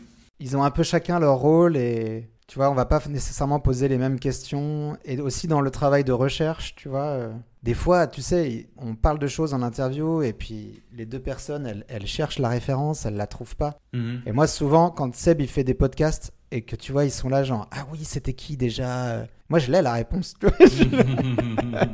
Ça pourrait arriver dans l'autre sens aussi, tu vois. Mhm. Ça veut pas dire que Seb, il est pas nerd ou geek, il a franchement. est- Ouais, il est passionné aussi, bien sûr. Ouais, et Mhm. puis franchement, il suit TAD depuis plus longtemps que moi et il a, notamment sur le skate parisien, il a tout en tête. euh, tu lui fais pas, hein, mais c'est marrant d'avoir ce. re- Entre quelqu'un qui a grandi à Paris et qui était euh, immergé, tu vois, dans la scène, euh, qui a bossé à Street Machine, euh, qui était ni plus ni moins le suprême de Paris euh, dans les années euh, 90. Et moi, qui étais ce gamin de province, tu vois, euh, c'est intéressant aussi, je pense, d'avoir nos deux points de vue. Ah, absolument, c'est Euh, clair. nos, nos deux regards, en tout cas. Nos deux regards, plutôt. Ouais. Non, c'est cool. Bah, en tout cas, j'espère qu'il y aura encore plein d'autres interviews et je vais garder un œil euh, et une oreille euh, attentive euh, au futur euh, de Big Spin. Merci.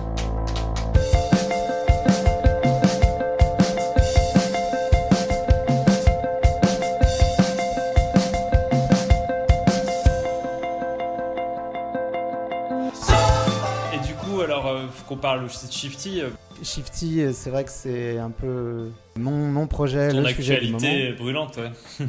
Qui est en fait, Shifty, c'est ni plus ni moins que la suite logique de ce qu'on a entamé avec le- la démarche de skate urbanisme à Bordeaux. Ça fait partie de cet écosystème où tu crées, euh, tu vois, des acteurs, des ressources locales qui ont un, un rôle aussi à jouer dans quelque part le développement de, de la culture skate, euh, ni plus ni moins. Mhm. Mais pourquoi je dis que ça fait partie du, du tissu? Parce que quand tu regardes l'exemple de nos cousins de Malmö, à Malmö, c'est pareil. Tous ces projets, en fait, sont partis de l'école.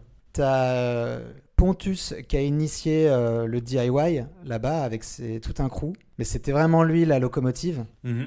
Ça a ouvert les yeux, je pense, à la collectivité pour euh, se dire euh, il y a un truc à faire avec le skate, ils sont motivés, tu vois, il y a une scène, elle est dynamique. Finalement, c'est pas grave s'il y a des spots, ça vit bien aussi dans l'environnement urbain, tu vois. Et ils ont monté l'école Bregrietz au même moment. Et Bregrietz, c'est un lycée. En Suède, ils ont euh, l'équivalent du bac. Il y a environ 7 options. Ouais. Et il y a une option pour le bac qui est euh, art appliqué.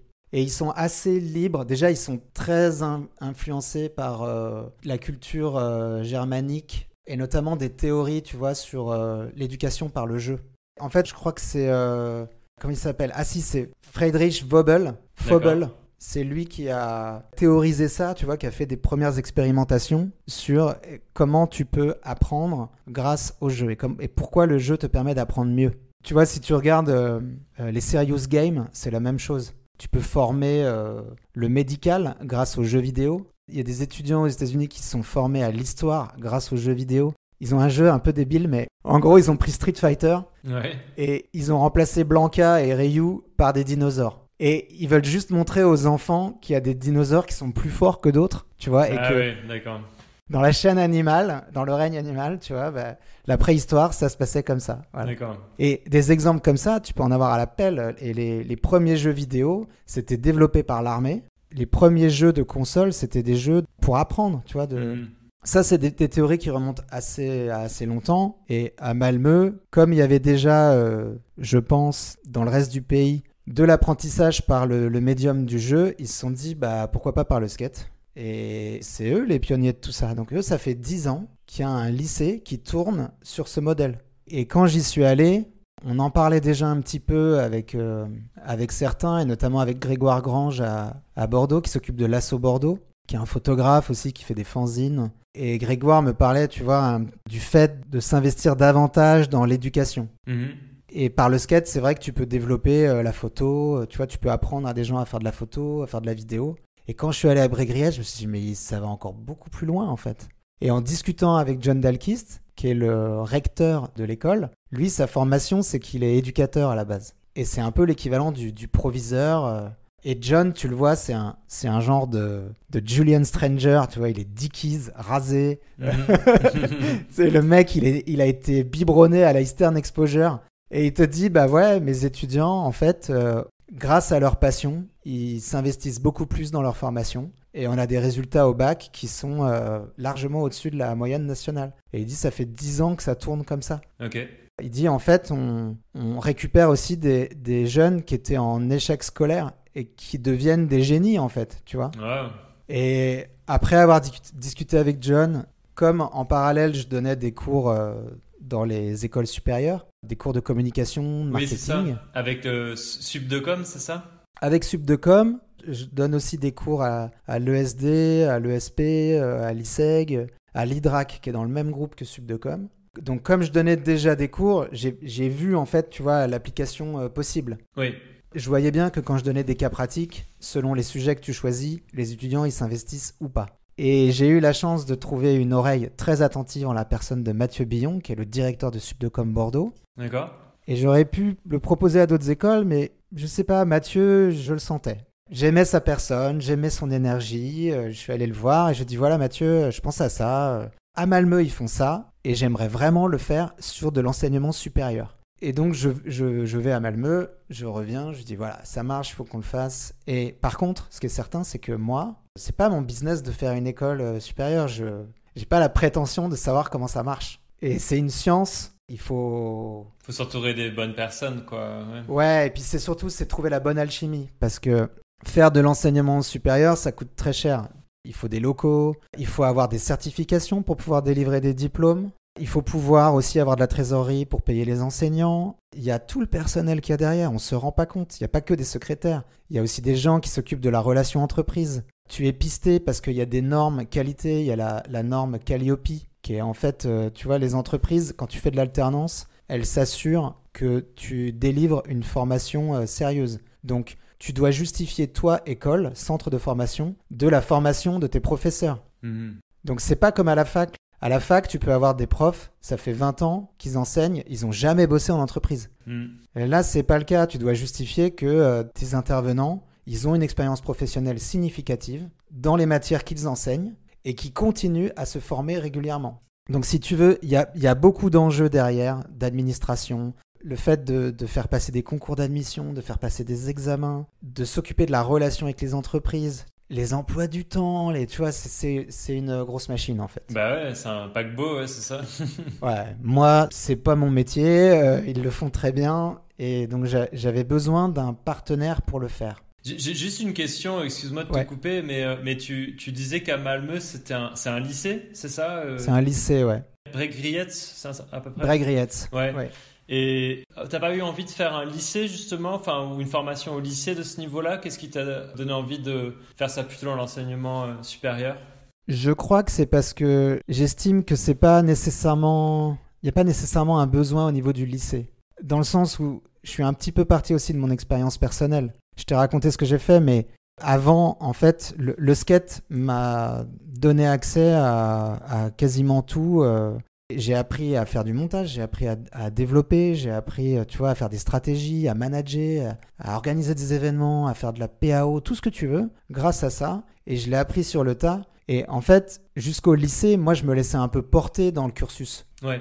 Tant que tu es dans l'enseignement euh, général, euh, même si je suis d'accord, il y a des gens qui, euh, dès le collège, commencent à se réorienter, tu vois, vers d'autres filières qui ne sont pas la filière générale. Mais j'estime que en France, on est quand même assez bien accompagné jusque-là, tu vois. Ouais.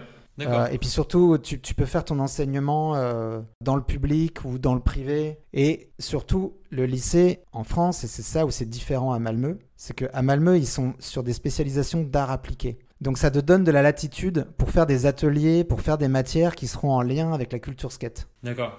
En France, il y a de plus en plus de spécialisations euh, sur le bac, mais tu as beaucoup moins de marge de manœuvre. Le tronc commun, il est, beaucoup plus resserré. Tu vois, donc en fait, si, tu veux vraiment euh, donner le change à ce niveau-là, ça va être un peu plus compliqué. Là où sur de l'enseignement supérieur, hormis les BTS, où les BTS c'est pareil, c'est assez cadré, mais dès que tu es dans de l'enseignement supérieur, tu as beaucoup plus de marge de manœuvre tu peux créer, euh, je sais pas, un cours d'événementiel articulé autour du skate ou un cours de planning strat ou tout ce que tu veux en fait. Du moment que l'étudiant développe la compétence et qu'il est capable de justifier de cette compétence. D'accord.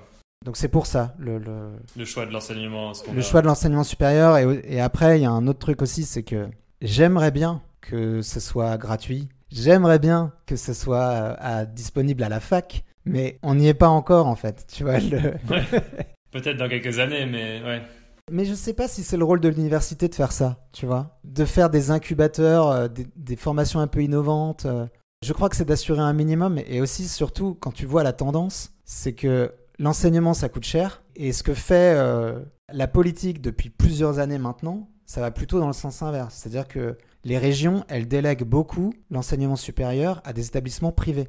Tu vois, et qui permettent aussi d'être beaucoup plus réactifs. Parce que, euh, tu vois, l'école supérieure du digital, ils ont compris qu'il y avait des nouveaux métiers, des nouveaux enjeux. Mhm. Data analyst, qui à la fac va former des data analystes Ouais. Tu vois, il y a des métiers qui évoluent tellement vite que tu as besoin de la souplesse des écoles privées parce qu'ils peuvent faire appel à des, à des professionnels, des intervenants. Et à la faculté, c'est plus compliqué. Il y a une inertie euh, qui est plus importante. Euh, ouais. complètement. Donc du coup, tu t'en remets à l'enseignement privé pour certaines filières, pour certaines formations. Mhm. Et l'enseignement privé, ils ont aussi leurs enjeux, c'est-à-dire que demain, si à Shifty, il n'y a que euh, trois étudiants, bah, tu t'y retrouves pas financièrement. Tu vois, bah es, dans le rouge grave. Alors, tu vois, il faut pouvoir... Euh, équilibrer, ouais. Ouais. pouvoir équilibrer et, le fait d'avoir ce partenaire garantit grâce à leur savoir-faire, au fait aussi qu'ils ont 30 ans d'expérience, tu vois, dans, dans, la formation en communication. Ils ont un réseau, c'est éprouvé. Enfin, moi, j'ai un confort de travail. En gros, je me, je me concentre sur ce que je sais faire moi. Hmm. Et ce que je maîtrise, c'est le skate et sa culture, c'est mon réseau euh, d'intervenants et c'est quelques cours que je peux diriger parce que j'ai cette expertise. Ouais. En fait, je me concentre sur la, la, pédagogie de spécialité, là où eux, ils m'assurent une structure et une pédagogie euh, générale, un tronc commun. Donc, euh, on a trouvé, une, je pense, une super formule et comment t'es allé la pitcher à, j'ai oublié son nom, mais le, le, mec de Subdecom, le, le, le À Mathieu Dion Ouais. Bah, c'était assez informel, on est allé déjeuner un midi ensemble. Comme j'intervenais déjà dans son école, on se connaissait. Mhm. Et après, je lui ai dit, euh, je lui ai parlé de la pédagogie par le jeu, je lui ai parlé de mon expérience aussi, euh, tu vois, d'enseignant et de ce que j'avais observé par rapport à l'implication des étudiants. Euh. et je lui ai dit, surtout, je veux que ça s'adresse à des étudiants. Je suis parti de mon cas personnel, je dois bien l'avouer. Mais c'est ce que font beaucoup de gens. Euh, Steve Jobs, il est parti de son cas personnel pour faire Apple. Euh, Phil Knight à Nike, c'est pareil. Toujours la même histoire. Hein. Ouais. Et je lui ai dit, bah voilà, moi j'ai tout appris. Euh, il n'y avait pas de formation pour moi. J'étais obsédé par le skate. Et j'ai eu du bol de m'accrocher, d'être à la fac et de végéter comme ça à un moment. Et surtout de tomber sur une enseignante qui a cru en moi. Mhm. Parce que sinon, je sais pas trop ce qui me serait arrivé, tu vois.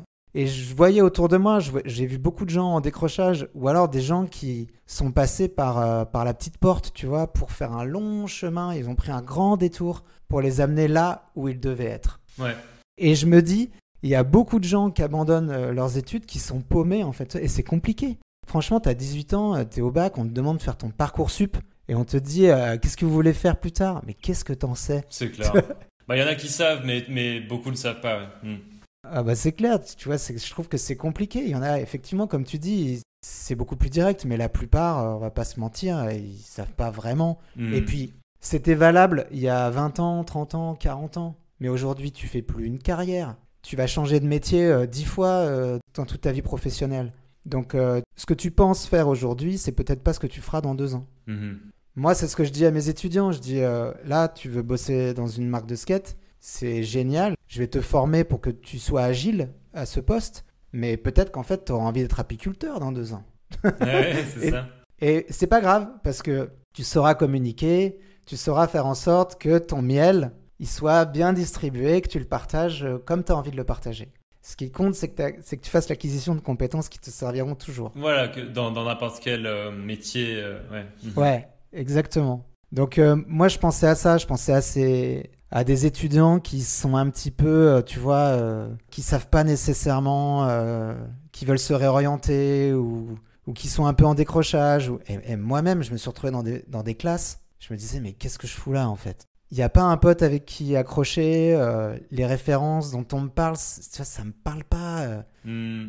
J'arrive pas à me projeter dans les cas pratiques. et du coup, tu mets pas le pied à l'étrier, tu vois. Je... Franchement, si c'était pas pour le skate, j'aurais jamais appris à coder. J'aurais jamais appris le langage HTML, C'est ça, ouais, non, absolument. Ouais. Faut qu'il faut qu'il y ait une carotte et un truc euh, à te moti- à Ouais, voilà. motivation, ouais, c'est ça. Donc ça, Mathieu, euh, je prêchais un convaincu. Hein. Mathieu, il est à la pointe de, de ce qui se fait, euh, tu vois, en termes de pédagogie. euh, quand je lui ai dit ce qu'on faisait avec Daniel euh, Stankovic, il me dit, euh, ouais, bien sûr, tu fais de l'idéation. Oui, oui, d'accord, je fais de l'idéation. Il me dit, tu vois, tous les trucs de design thinking et tout, il- il- ça fait belle lurette que, qu'il connaît ses... Il était sensible à ton discours, quoi. Au début, on a voulu le, le développer, euh, on a réfléchi, tu vois, quelle forme ça pouvait prendre. Et puis très vite, il m'a dit, euh, viens, on le fait à euh, c'est beaucoup plus direct, il avait raison, ça, on l'a lancé en, en un mois, tu vois. Ouais, Il fou, m'a hein. dit en mars, il m'a dit, c'est bon, je l'ai, je l'ai pitché euh, aux dirigeants, euh, on a le feu vert, euh, c'est parti, quoi. On y va là, en septembre, on ouvre. Ah, ça allait si vite que ça? Ah ouais. Ah, la pression, par contre, ouais. Ah ouais, début mars, il m'a dit bingo. Donc, mars, 2000, euh, mars 2020 Mars l'année dernière? Mars 2020, ouais. ouais. Donc, au tout début du confinement, euh, en plus. C'est Ouais. ça, ouais, ouais. Et après, si tu veux, c'est, il fallait raconter cette histoire, tu vois. Il fallait raconter ce qu'on veut faire. Donc, euh, il y a eu plusieurs notions importantes pour moi. La première, c'était l'accessibilité. Mhm. Parce que donc c'est un bachelor, tu peux y accéder à- avec n'importe quel bac. Euh, il faut avoir l'équivalent du bac, mais on a des étudiants qui viennent de l'étranger, tu vois, on a des Belges, on a des Suisses. Mais que des francophones, par contre. Ouais, des francophones. Même si on a des intervenants qui sont anglais, enfin qui anglophones, On en parlait l'autre jour, il y avait Ian Mishna de Gencam qui a fait un truc. euh, ouais. c'est ça. On a fait euh, un, un talk avec Yann, hyper inspirant, tu vois, qui a expliqué comment euh, il, avait, il avait créé son média et son, son business model, comment il voyait les médias dans l'avenir, euh, Très intéressant, j'imagine. Ouais. Ouais, ouais, sur sa ligne éditoriale, sur. euh, pff, il est génial. Ouais, il est génial ce mec, ouais. Mm. Il est génial. Et on a eu Daniel Stankovic. Donc, pareil, c'est c'est un peu le tonton, tu vois, de la formation. Mhm. Et lui, euh, grosse expérience parce que 12 ans euh, brand manager chez Nike SB. D'accord. Il a sa marque euh, Post Details, qui est un peu l'équivalent de Hélas. Il lance Shiner, son application. Enfin, Shiner, on dit Shiner. Ça, c'est des intervenants qui sont, qui sont intervenus en anglais. Ça n'a posé aucun problème de compréhension pour les étudiants. Ils ont fait des ateliers avec eux. Enfin, tu vois, c'était vraiment top. Mhm. On a eu Romy Bertrand aussi, que tu connais. Ouais, ouais. Euh, Léo Valls, évidemment. Léo, il a fait, tu vois, en gros, son atelier, lui, c'était comment tu fais une stratégie de lancement d'un contenu vidéo. En gros, tu as fait une vidéo, tu as fait un contenu. Comment tu le partages? Comment tu le diffuses? Est-ce que tu le découpes? Est-ce que tu le mets sur YouTube? Est-ce que tu le mets sur Insta? Est-ce que tu fais appel à des médias pour le relayer? Est-ce que tu te gardes cette exclusivité? Tu vois, tous ces. Mhm. Comment tu fais ton montage? Pourquoi tu choisis tel et tel? Tu vois, Ouais, hyper intéressant. Et Léo, c'est ce qu'il fait tout le temps. Il est fort en communication. Euh, Il a appris tout seul, mais il, est, il a une supervision là-dessus. Aujourd'hui, euh, pour être un bon skater, j'ai l'impression qu'il faut être un bon communicant aussi. L'ère d'Instagram, euh, c'est devenu euh, quasiment aussi important, quoi, d'une certaine façon. Que si, si t'es Ouais. extrêmement fort en skate, mais que tu sais pas bien manier ces outils-là, bah, tu vas pas forcément avoir la même exposition, le même, la même résonance dans la communauté skate, quoi. Non, c'est clair. Vous avez eu Fred Mortagne aussi, on a parlé de Fred un peu plus tôt. On a fait un masterclass avec Fred Mortan qui était euh, passionnant, hyper enrichissant. euh. Bah déjà, l'expérience de Fred, elle est énorme, mais Bah aussi ouais. Fred, Fred, il incarne vraiment ce truc de... Lui, il était complètement perdu euh, à l'école. Tu vois, il se reconnaissait pas du tout dans le système éducatif général. Pour Mhm. lui, c'est ce qu'il nous dit, c'est ses mots. hein, je- L'école lui avait dit qu'il était incapable, en fait, tu vois, qu'il n'y arriverait pas. Mhm. Du coup, il s'est raccroché au skate pour, euh, pour faire ses vidéos, pour devenir le réalisateur, le photographe qu'on connaît, pour, euh, tu vois, travailler euh, pour des, des marques comme Hermès ou Leica, évidemment. Il me semble qu'il a travaillé un peu pour Element. Nokia aussi. Ouais. Element. Euh, bon, et toutes les marques de skate, évidemment, mais tu vois, il a, il a pas bossé que pour des marques de skate. Non, non, bien sûr, ouais. Il a fait des clips, il bosse avec Alexandre Astier. Donc, euh, Fred, il explique texto euh, son, son parcours et, et il voit très bien. Ça, ça fait partie des personnes qui, tout de suite, m'ont dit euh, évidemment, je participe à. C'est un plaisir, oui, je viens faire un masterclass. Mhm. Donc, on- Fred, il a transmis euh, son expérience, il a transmis ses tips aussi, ses conseils. Tu vois, on a, on a fait un atelier avec lui. On prend toujours des cas concrets. Avec Fred, c'était. On l'a proposé aux étudiants, on a dit comment on fait la communication institutionnelle d'un lieu qui a été euh, aménagé, euh, ouvert à la pratique du skateboard, un quartier. En l'occurrence, c'était le quartier Myriadec où on a rénové un, un spot Mhm. et qui est maintenant euh, hyper skaté. Et en gros, si tu devais bosser pour Bordeaux Métropole et le magazine de Bordeaux Métropole, qu'est-ce que tu leur fournis comme contenu image? D'accord. Qu'est-ce que tu leur donnes comme photo? Et donc il faut, en fait, c'est tout le storytelling à l'image. Comment tu racontes une histoire à l'image Ouais. tu dois faire des close-up, tu dois faire euh, peut-être un portrait, peut-être un, un paysage, tu dois montrer qu'il y a du skate, mais pas que. Tu vois qu'il y a de la cohésion sociale, donc tu réfléchis à ton histoire et tu la racontes en photo. Mhm. Et les étudiants ont été super, ils ont, tu vois, Fred leur a montré des techniques, euh, et, et Fred s'est prêté au jeu, et les étudiants se sont prêtés au jeu, et à la fin on a fait une restitution. On a commenté, il a fait ses retours. Tu vois, franchement, tu ressors de là, derrière, euh, j'ai des étudiants qui faisaient déjà des cours photo avec David Mano et Grégoire Grange. Donc là, autant te dire qu'ils étaient à bonne école. Mhm. Mais si tu rajoutes le masterclass de Fred, j'ai des étudiants de première année qui sont déjà super forts en photo, en fait, tu vois. Mhm. Donc on essaye d'amener comme ça, c'est des accélérateurs. C'est comme Benjamin Debert. Benjamin Debert, il, tu vois, il raconte son expérience euh, de créateur de médias, de, de- de rédacteur en chef. Ouais. Il donne euh, des- choses sur la, sur la culture, il partage ses expériences. C'est les étudiants, ils ressortent de là. euh, ils, ont, ils ont fait un bond en avant euh, gigantesque parce que moi, je voulais savoir, j'étais curieux de savoir à quel point la culture skate, ça comptait pour eux. Est-ce que c'est pertinent pour vous qu'avec Benjamin, on vous parle de Marc Gonzalez pendant une heure? Ouais. Vraiment là. Ben, j'ai fait des fait des questionnaires, j'ai fait des sondages, donc ils répondent, tu vois, c'est anonyme. À l'unanimité, c'est euh, 100%. Transmettez-nous ça, tu vois. Donc ils sont ils sont friands de ça. La formation aussi, j'ai envie de la construire avec eux. Tu vois, je veux avoir leur retour sur des choses qui marchent, des choses qui marchent pas. C'était une année zéro. Il y a des choses qu'on n'a pas fait comme on voulait. On a mis aussi des fois des ambitions, la barre un peu haut. Du coup, c'est des choses qu'on réajuste pour l'année prochaine. Il y a une vraie volonté aussi de faire des ponts entre leur, ce qu'ils apprennent dans le tronc commun et ce qu'ils apprennent vraiment dans le cadre de Shifty, tu vois. Et de pouvoir faire des passerelles entre les matières. Ça, c'est hyper important. Parce que du coup, ils, ils ont en fait euh, des, des matières aussi plus généralistes. euh, c'est pas 100% du contenu des cours euh, dédié à cet univers du skate, quoi. Non, Il y a aussi des choses plus généralistes. ouais. D'accord. Et c'est en fait important qu'ils soient euh, aussi en immersion avec d'autres étudiants. Oui, bien sûr. Il faut pas créer une communauté euh, ghettoisée. euh, C'est important de créer des passerelles et qu'ils puissent apporter leur regard sur euh, des cas aussi euh, plus généralistes. Ouais. Et ça fait que quand ils font une stratégie de com pour Hayes, derrière, ils doivent pouvoir faire une stratégie de com pour euh, Centracor, tu vois. le grand écart. Ouais, c'est clair. Mais quelque part, ils apportent une fraîcheur, un, un truc, tu vois, en plus. Mhm. Et aussi, ils sont avec d'autres étudiants. Ça, c'est important aussi, tu vois, qu'ils soient pas que entre eux. Donc, ils ont des cours, des matières générales, ils ont du web design, ils ont euh, du planning strat, euh, ils ont euh, des cours plus généraux sur le marketing, la communication. Ils ont des cours de, de PAO, de Photoshop, d'Illustrator, des cours de montage, des cours de photo. Ils apprennent vraiment beaucoup, beaucoup de choses. Mhm. Et ils ont aussi des cours vraiment spécifiques à Shifty, où là, on a des intervenants euh, qui viennent et ces, cours sont construits sur des projets. D'accord. Et c'est hyper important. Par exemple, la culture skate, je leur transmets des choses, mais je prends bien soin que eux aussi s'approprient ces sujets. C'est tellement large, je vais, je vais pas leur dire euh, vous devriez regarder Mike Carroll et Jamie Thomas, euh, bof. Hein. Hmm. Je te donne un exemple vraiment naze, mais en gros, je leur, je leur donne les clés, c'est eux qui font des présentations. Par exemple, tu vois, les premières années, ils ont chacun à présenter euh, un skater euh, iconique. D'accord. Je leur fais une longue liste et je leur dis, OK, vous prenez qui vous voulez. Et dedans, il y a, il y a Lance Mountain, il y a Great Britain, il y a, je sais pas, tu vois, tu peux y aller, la liste, elle est, elle est longue, mais Hmm. en gros, tu as les skateurs les, les plus influents et c'est assez, ob- Hmm. ouais, c'est objectif. Franchement, dans la liste, t'as Gonz, t'as Marc Gonzalez, t'as as Lance Mountain, t'as, oui, t'as Tony Tommy Guerrero. euh, Ouais, mais t'as aussi des profils. euh, je sais plus si Bobby Poulio il était dedans, mais il pourrait être dans la liste, tu vois. des figures emblématiques euh, du skate. Ouais. Mhm. En gros, je me dis qui sont les game changers?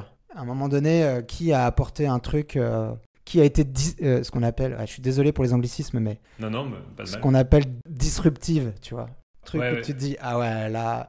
Il y a un avant et un après, quoi. Ouais, ouais. Et en fait, du coup, en faisant ces recherches sur les skateurs, ils ils s'approprient une part de cette culture. Et entre eux, ils se montrent des choses, ils apprennent à défendre aussi, tu vois, à raconter une histoire, à défendre euh, une histoire, quelque chose, d'identifier ce qui est important à raconter. Mhm. Toi, pas seulement il est né à tel endroit et tu vois, on s'en fout. Mais plus qu'est-ce qu'il a apporté, tu vois. ouais. J'essaie de les, de les sensibiliser à pourquoi c'est important.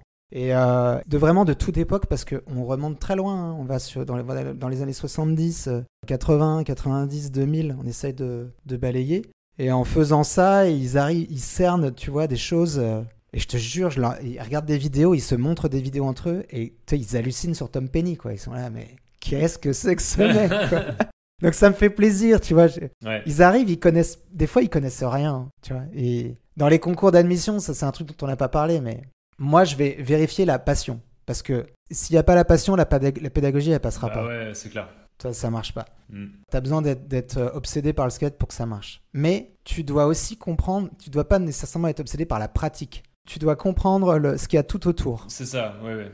Mais après, dans mon recrutement, tu vois, j'ai des étudiants qui me parlent de skateurs, euh, on va dire grand public, qui vont me dire ah bah moi j'adore Naija ou euh, Regarde Giro. euh, voilà. Et en fait, euh, j'ai beaucoup de bienveillance, tu vois, là-dessus. Je me dis ah ok, c'est ça que tu kiffes. Mais très vite, je cerne si l'étudiant il est il a cette passion ou pas, tu vois, cette ou- curiosité.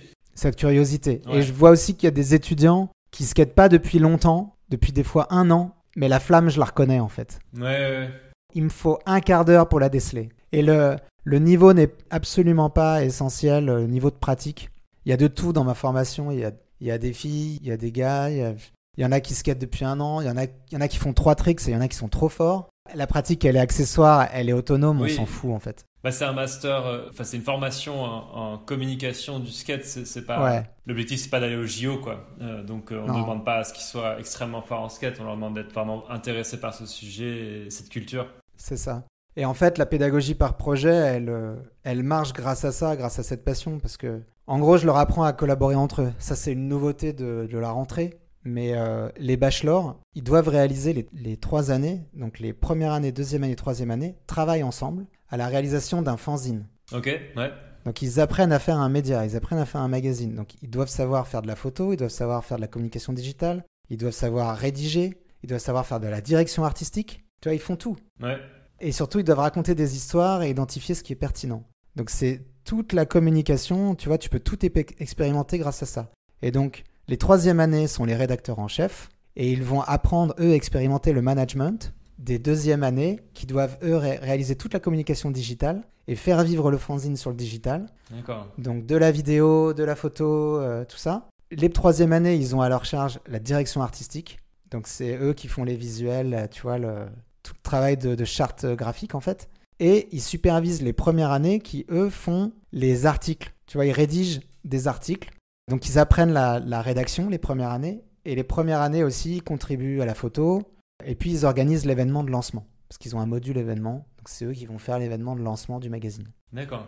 C'est pas mal. Il y a des parrainages un peu de d'année en année, quoi, comme dans d'autres formations euh, plus généralistes, ouais. C'est ça. Mhm. Et c'est important pour la cohésion, c'est important pour, euh, je La pense, pour la vie de l'école euh, et la transmission, et surtout expérimenter le travail en équipe. De devoir travailler dans des délais impartis, tu vois, parce que là, si tu es en première année et que tu rends pas ton article la semaine prochaine, tu vas mettre tout le monde dans la merde en fait. C'est ça. ouais. Donc t'as intérêt à te bouger, quoi. Ouais. Et les troisième années, c'est quoi le brief que vous faites aux premières années, tu vois Mhm. Et là, j'ai la chance de pouvoir m'entourer d'intervenants qui maîtrisent bien tous ces sujets. Donc, selon les sujets, je vais faire appel à Nicolas Malinowski qui va venir filer un, un coup de pouce sur la DA pour, tu vois, dire, bah, fais ça plutôt comme ci ou je ferais ça plutôt comme ça. Il y a Grégoire Grange et David Mano qui peuvent aider sur la photo ou même Greg sur les fanzines. Benjamin Debert, évidemment. Euh, tu vas, enfin, Ouais. je te cite ceux qui ont collaboré cette année, mais j'ai beaucoup d'idées pour l'année prochaine aussi Mhm. évidemment pour continuer ce qui a déjà bien marché avec euh, tous ceux qui sont intervenus, mais aussi d'a- d'apporter du sang neuf. Et la nouveauté de la rentrée, c'est un master. Parce que là, pour le moment, vous aviez donc de la première à la troisième année de licence, c'est ça? Ouais, c'est ça. Et je me suis rendu compte, alors à la demande des étudiants qui ont envie de poursuivre en master, moi l'idée c'était un petit peu de, avec le bachelor, de réorienter les étudiants, c'est-à-dire de leur donner les clés de compréhension des enjeux professionnels, de voir quelles étaient les compétences qui les intéressaient, pour derrière pouvoir se spécialiser. Ouais. si besoin, ou alors euh, se lancer tout simplement dans les projets qu'ils avaient envie de réaliser, ou, tu vois, ou se lancer dans la vie active s'ils ont envie. Mhm. Mais je voulais un petit peu leur, leur permettre d'expérimenter des, des compétences professionnelles et de faire en sorte qu'ils soient confiants, autonomes, soit pour postuler, soit pour développer leur projet. D'accord. Et en fait, l'objectif du master, tout ça, ça prend du temps en fait. Tu vois, le développement de l'étudiant, on se rend pas compte, mais quand tu as 18 ans, tu es à la sortie de lycée, tu es en première année, c'est pas évident de comprendre des enjeux professionnels. Ça doit se faire en transition, tu vois, c'était dans un sas, donc il faut y aller doucement, Ouais. peu à peu, tu vois. Mais mes premières années, des fois, je suis exigeant avec eux, mais je me dis, oh là là, euh, quand j'avais 19 ans, euh. T'étais pas très ouais, attentif ou ouais. La plupart, ils ont beaucoup de mérite, ils ont, ils ont une- beaucoup de motivation. euh, Il y en a sont, qui sont déjà très matures. euh, euh, certains sont en stage ou en apprentissage ou en, en alternance. Les gens me disent euh, Ah, ils sont proactifs, ils sont autonomes. euh. Mais je- ils avaient la volonté aussi de poursuivre en master. Donc je me suis dit Bah ouais, on va effectivement proposer, comme Subdecom a déjà un très bon master, Mhm. Qui est euh, manager de la communication. En fait, tu vas approfondir ton expertise. Tu vas devenir quelque part un directeur de création. Ok. Tu vas approfondir ton expertise sur euh, la création et sur la stratégie, sur le management. Donc euh, ça permet en fait de développer d'autres projets. Et en master, ce qu'on va développer, c'est sur la première année un brief annonceur. Donc on part d'un cas concret qu'on va suivre tout au long de l'année en fil rouge. Mhm. Et en gros, les étudiants vont être briefés par une marque, comme une agence, comme des créatifs. Ils vont être briefés par une marque sur un cas concret de communication. Est-ce que c'est la lancement- le lancement d'un produit? Est-ce que c'est euh, le lancement d'une marque ou de- tu vois, le développement d'une communauté ou un enjeu particulier? Et eux vont en fait devoir réfléchir à une stratégie, faire des propositions, créer des maquettes et derrière faire une présentation corporate pour présenter leurs recommandations D'accord. comme tu le ferais dans la vie active, tu vois, ni Ouais, plus ouais, ni moins. ouais. Sauf qu'en fait, ils le font dans un cadre. Ils sont encadrés par euh, un, un annonceur et ils sont encadrés par des enseignants qui les accompagnent, tu vois, pour qu'ils soient pas non plus euh, lâchés dans la nature. Mhm. Mais du coup, ils ont déjà des assets de marque, tu vois, ils ont déjà euh, des logos, euh, des guidelines, euh, tu vois, des choses un peu à respecter et ils doivent créer là-dedans. Mhm. Donc ça leur apprend une certaine rigueur et ça les met en contact avec des professionnels, ça développe leur réseau, ça les met en confiance, tu vois, pour derrière plus tard euh, aller démarcher s'ils veulent des, des entreprises. Mhm. En dernière année de master, ils ont un projet startup. D'accord. Là, pour le coup, ils partent d'une feuille blanche et ils développent le projet qu'ils ont envie de, de développer, que ce soit un média, une marque, une association, un lieu, un événement, peu importe, Mhm. lié au skate évidemment. Du coup, ils doivent euh, développer une charte, une identité visuelle. Ils doivent euh, faire une stratégie de lancement, de communication, un business model, un, un planning opérationnel aussi, tu vois, de concrètement euh, quelles sont les ressources nécessaires, quel- combien de temps ça va prendre, Mhm.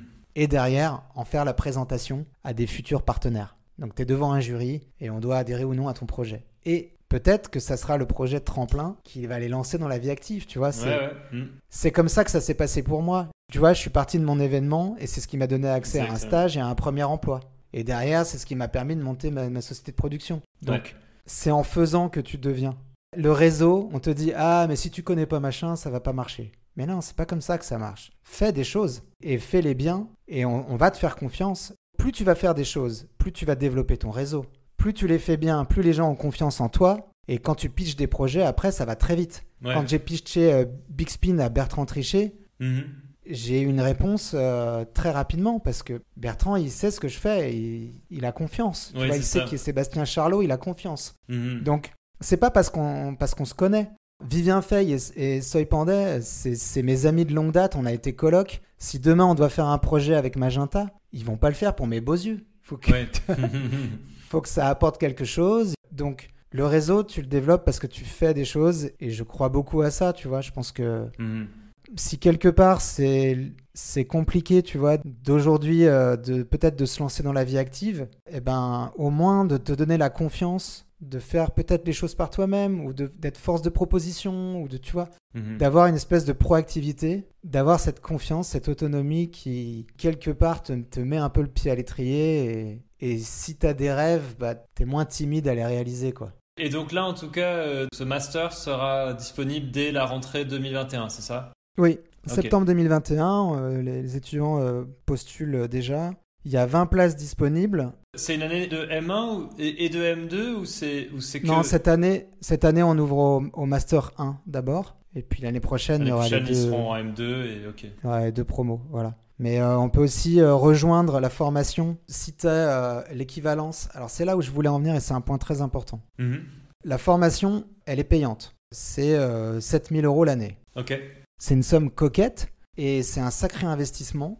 L'avantage qu'on a, c'est qu'on propose l'alternance dès la deuxième année. Donc en fait, si tu n'as pas les moyens de faire la formation initiale, tu peux très bien valider une équivalence de première année et rejoindre la formation en deuxième année. Et la faire en apprentissage. Ouais. Mhm. Voilà, exactement. Et ça, tu peux faire la formation à partir de la deuxième année jusqu'à la dernière année de master en apprentissage. Ah, c'est génial. Donc en alternance, tu as un salaire, ta formation, elle est payée et tu te fais une expérience professionnelle. Ouais, carrément. Donc tu vois, c'était primordial que ça soit accessible parce que je suis un, je suis un enfant de la fac. Ça me tient à cœur. euh, Tu voulais pas que ce, ce contenu soit exclusivement réservé à des gens qui ont de l'argent et Ouais, ouais. Je veux pas que ça soit un frein. euh. bien sûr, bien sûr. Et après, les formations, euh, ouais, quand tu regardes les coûts, tu te dis, euh, ouais, c'est énorme, mais encore une fois, pour la raison que je t'expliquais, ça coûte cher la formation supérieure. Et si tu veux que ça soit équilibré, Mhm. moi, c'est pas moi qui fais les prix, hein, mais je pense que si on en est à ces prix-là, c'est parce que, en fait, c'est nécessaire à leur équilibre. Ouais. Tu vois, et, euh, Non, et puis vu la, vu la qualité des intervenants et des cours euh, que tu m'as raconté tout à l'heure, euh, franchement, euh, ça vaut la peine, quoi. ça, c'est clair que tu n'auras pas ça à la fac. Tu vois, bah non, c'est évident. Tu vas apprendre des choses il y, a des- il y a des formations pour lesquelles, euh, oui, euh, la fac, ça suffit amplement. Ouais. Mais avoir des masterclass de Léo Valls, de Benjamin Debert, de Yann Michna, de Romy Bertrand, euh, de toi, de tout ça en condensé sur, sur une année, c'est quand même assez énorme. Ouais. Et puis, il y a tout ce qui, tous les projets, tu vois, qui font autour. Et, et aussi, alors la grande chance qu'on a, c'est qu'on est à Bordeaux, Mhm. qu'il y a des ressources extraordinaires. Tu vois, on a Darwin, c'est un lieu... C'est une sorte de hangar, c'est ça, où il y a des, un skatepark à l'intérieur ou quelque chose? Qu'est-ce que c'est en fait cet, cet espace euh, concrètement?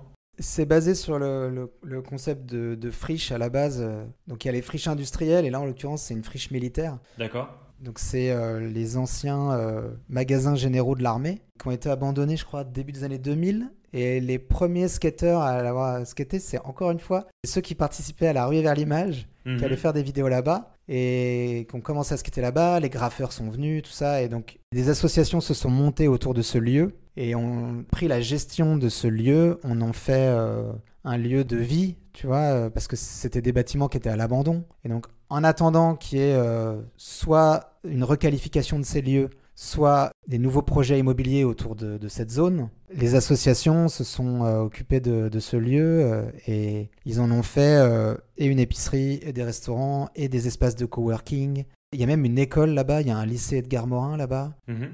Il y a effectivement un skatepark. Mais toi, il y a, il y a des réparateurs de vélos, il y a, je crois, une asso qui fait du custom moto, il y a du derby roller, tu vois, il y, a, il y a plein de trucs en fait. Il y a un Emmaüs, Ouais. Et euh, évidemment, il y a tout un ensemble de toute une chaîne de valeurs qui est importante, qui est inhérente au lieu, liée aux valeurs écologiques et tout ça, qui font partie de tous ces écolieux. Et le hangar, donc qui est euh, géré par Tanguy Lemarec, euh, avec Sébastien Dorel et toute une équipe là-bas, c'est un skatepark couvert avec des endroits aussi découverts, qui vit, où il y a de l'événementiel, où il y a des, sessions, c'est accessible à tous. La cotisation, elle est dérisoire, c'est 5 euros, tu vois, pour... Ah. On a la chance d'avoir ces lieux-là uniques où tu peux faire plein de trucs, tu vois, tu peux faire des ateliers, tu peux faire du contenu, tu peux faire des événements, Mhm. on a ça et on a euh, notamment aussi le Zoom, donc qui est un skatepark, qui est le skatepark de l'assaut Bordeaux, D'accord. qui est un lieu d'initiation, un, un skatepark d'école. C'est un peu le petit Bérix, tu vois, de, Bordeaux, Ouais. mais c'est aussi un lieu culturel où il y a des expos. où- Tu vois, on a fait le masterclass de Fred Mortagne là-bas. Et D'accord. nous, c'est génial de pouvoir faire des expériences hors les murs, tu vois, avec ces ressources. Bien sûr, ouais. Mais on a plein de ressources locales, tu vois, on a Rorokit aussi qui fait des kits de skate, des, des presses que tu peux, tu peux faire des skates toi-même en DIY. Ah ouais. Ils sont dans notre métropole. On a euh, quelque part Artprint est pas loin, tu vois, il y a on a beaucoup de ressources, on a des marques, euh, on a des médias, euh, des skate shops qui sont très actifs. euh. Ouais, c'est vrai que Bordeaux est devenu un peu la une des villes majeures du skate français, ouais. Ouais. Ouais, ouais. Surtout maintenant, ouais.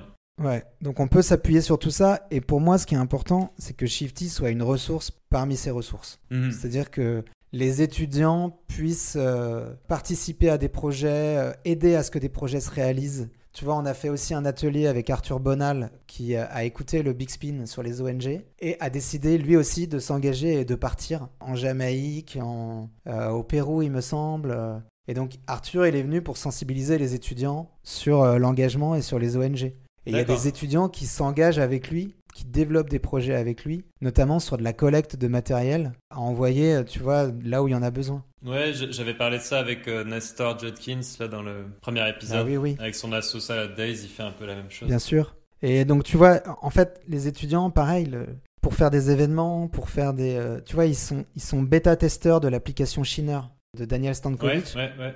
Pour Daniel, c'est c'est magique. Parce que Bah tu vois, il a des, des utilisateurs qui lui font des retours régulièrement sur euh, des bugs, des trucs qui vont bien, des outils à développer, tu vois, c'est... Mhm. Et j'ai envie que ça soit une ressource euh, locale, mais pas seulement, tu vois.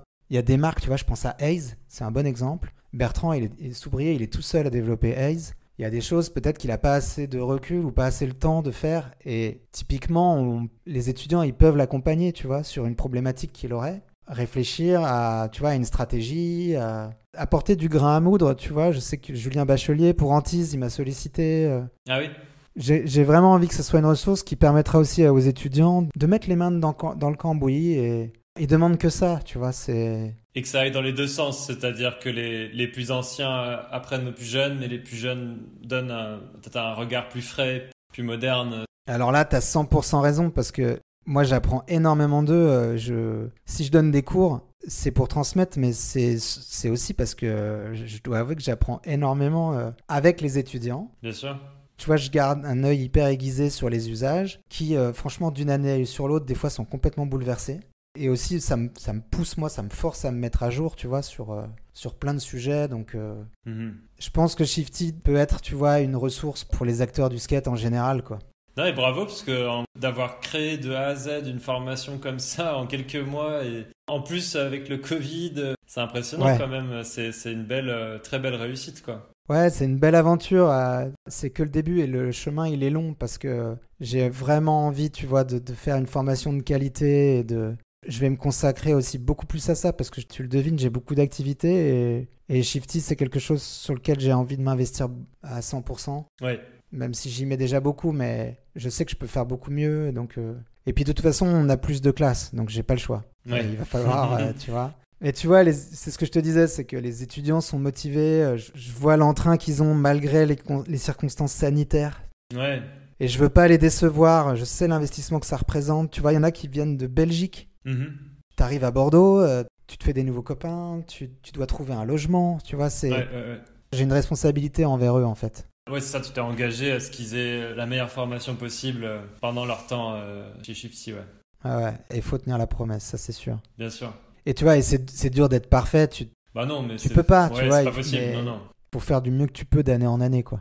bah déjà, encore une fois, pour une première année, euh, c'est déjà vraiment impressionnant et remarquable. Et comme je t'avais dit au téléphone, euh, si j'avais 20, 20, ans maintenant, je crois que j'aurais été hyper chaud pour faire une formation de ce, de ce style-là, parce qu'à cet âge-là aussi, j'étais complètement à la ramasse, je savais pas du tout ce que je voulais faire et je m'emmerdais euh, à la fac mmh. puis en IUT. Et, et si j'avais eu connaissance d'une formation comme ça, je crois que j'y serais allé les yeux fermés, quoi. Donc, donc non, c'est cool en tout cas. Ouais. Mais ça marche, tu vois, il y a, y a vraiment des étudiants c'est souvent le cas en admission où ils me disent euh, Ah, bah j'ai eu le bac l'année dernière, mais là, cette année, en fait, j'ai fait ça, mais j'ai abandonné. Mhm. Et là, j'ai vu la formation et je me suis dit En fait, c'est l'opportunité. C'est ça, ouais. Mhm. Et de voir qu'ils n'avaient pas vraiment d'idée précise en tête sur ce qu'ils voulaient faire et de voir que là, après six mois de cours, ils me disent euh, je veux devenir euh, DA, je veux faire ça, ou je veux être photographe, ou moi ce que je veux c'est organiser des événements. Mhm je vois leur motivation, euh, tu vois, s'aiguiser et, je me dis, bah ouais, ça porte ses fruits, quoi, ça marche. Ouais,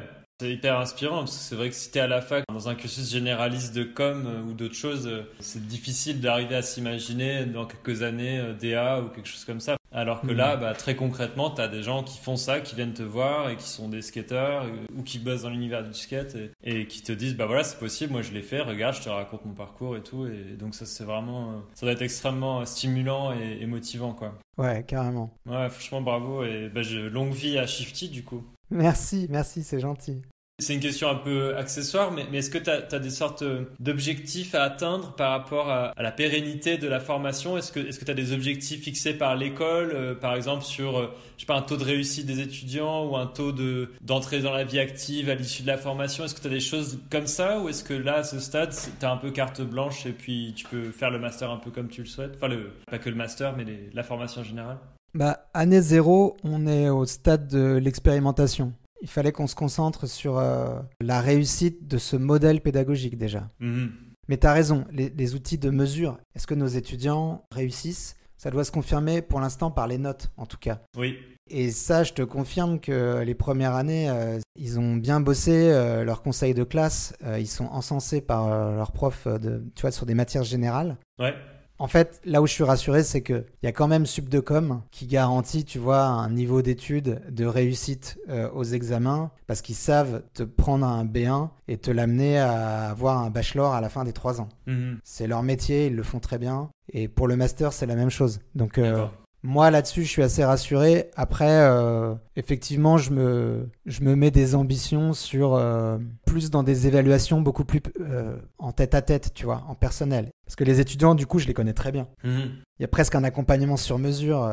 C'est aussi l'avantage, c'est que le fait qu'on partage cette passion, on a un rapport beaucoup plus direct. Bah oui, bien sûr. Ça veut pas dire qu'il n'y a pas de respect ou que, ou que c'est la foire d'empogne, tu vois.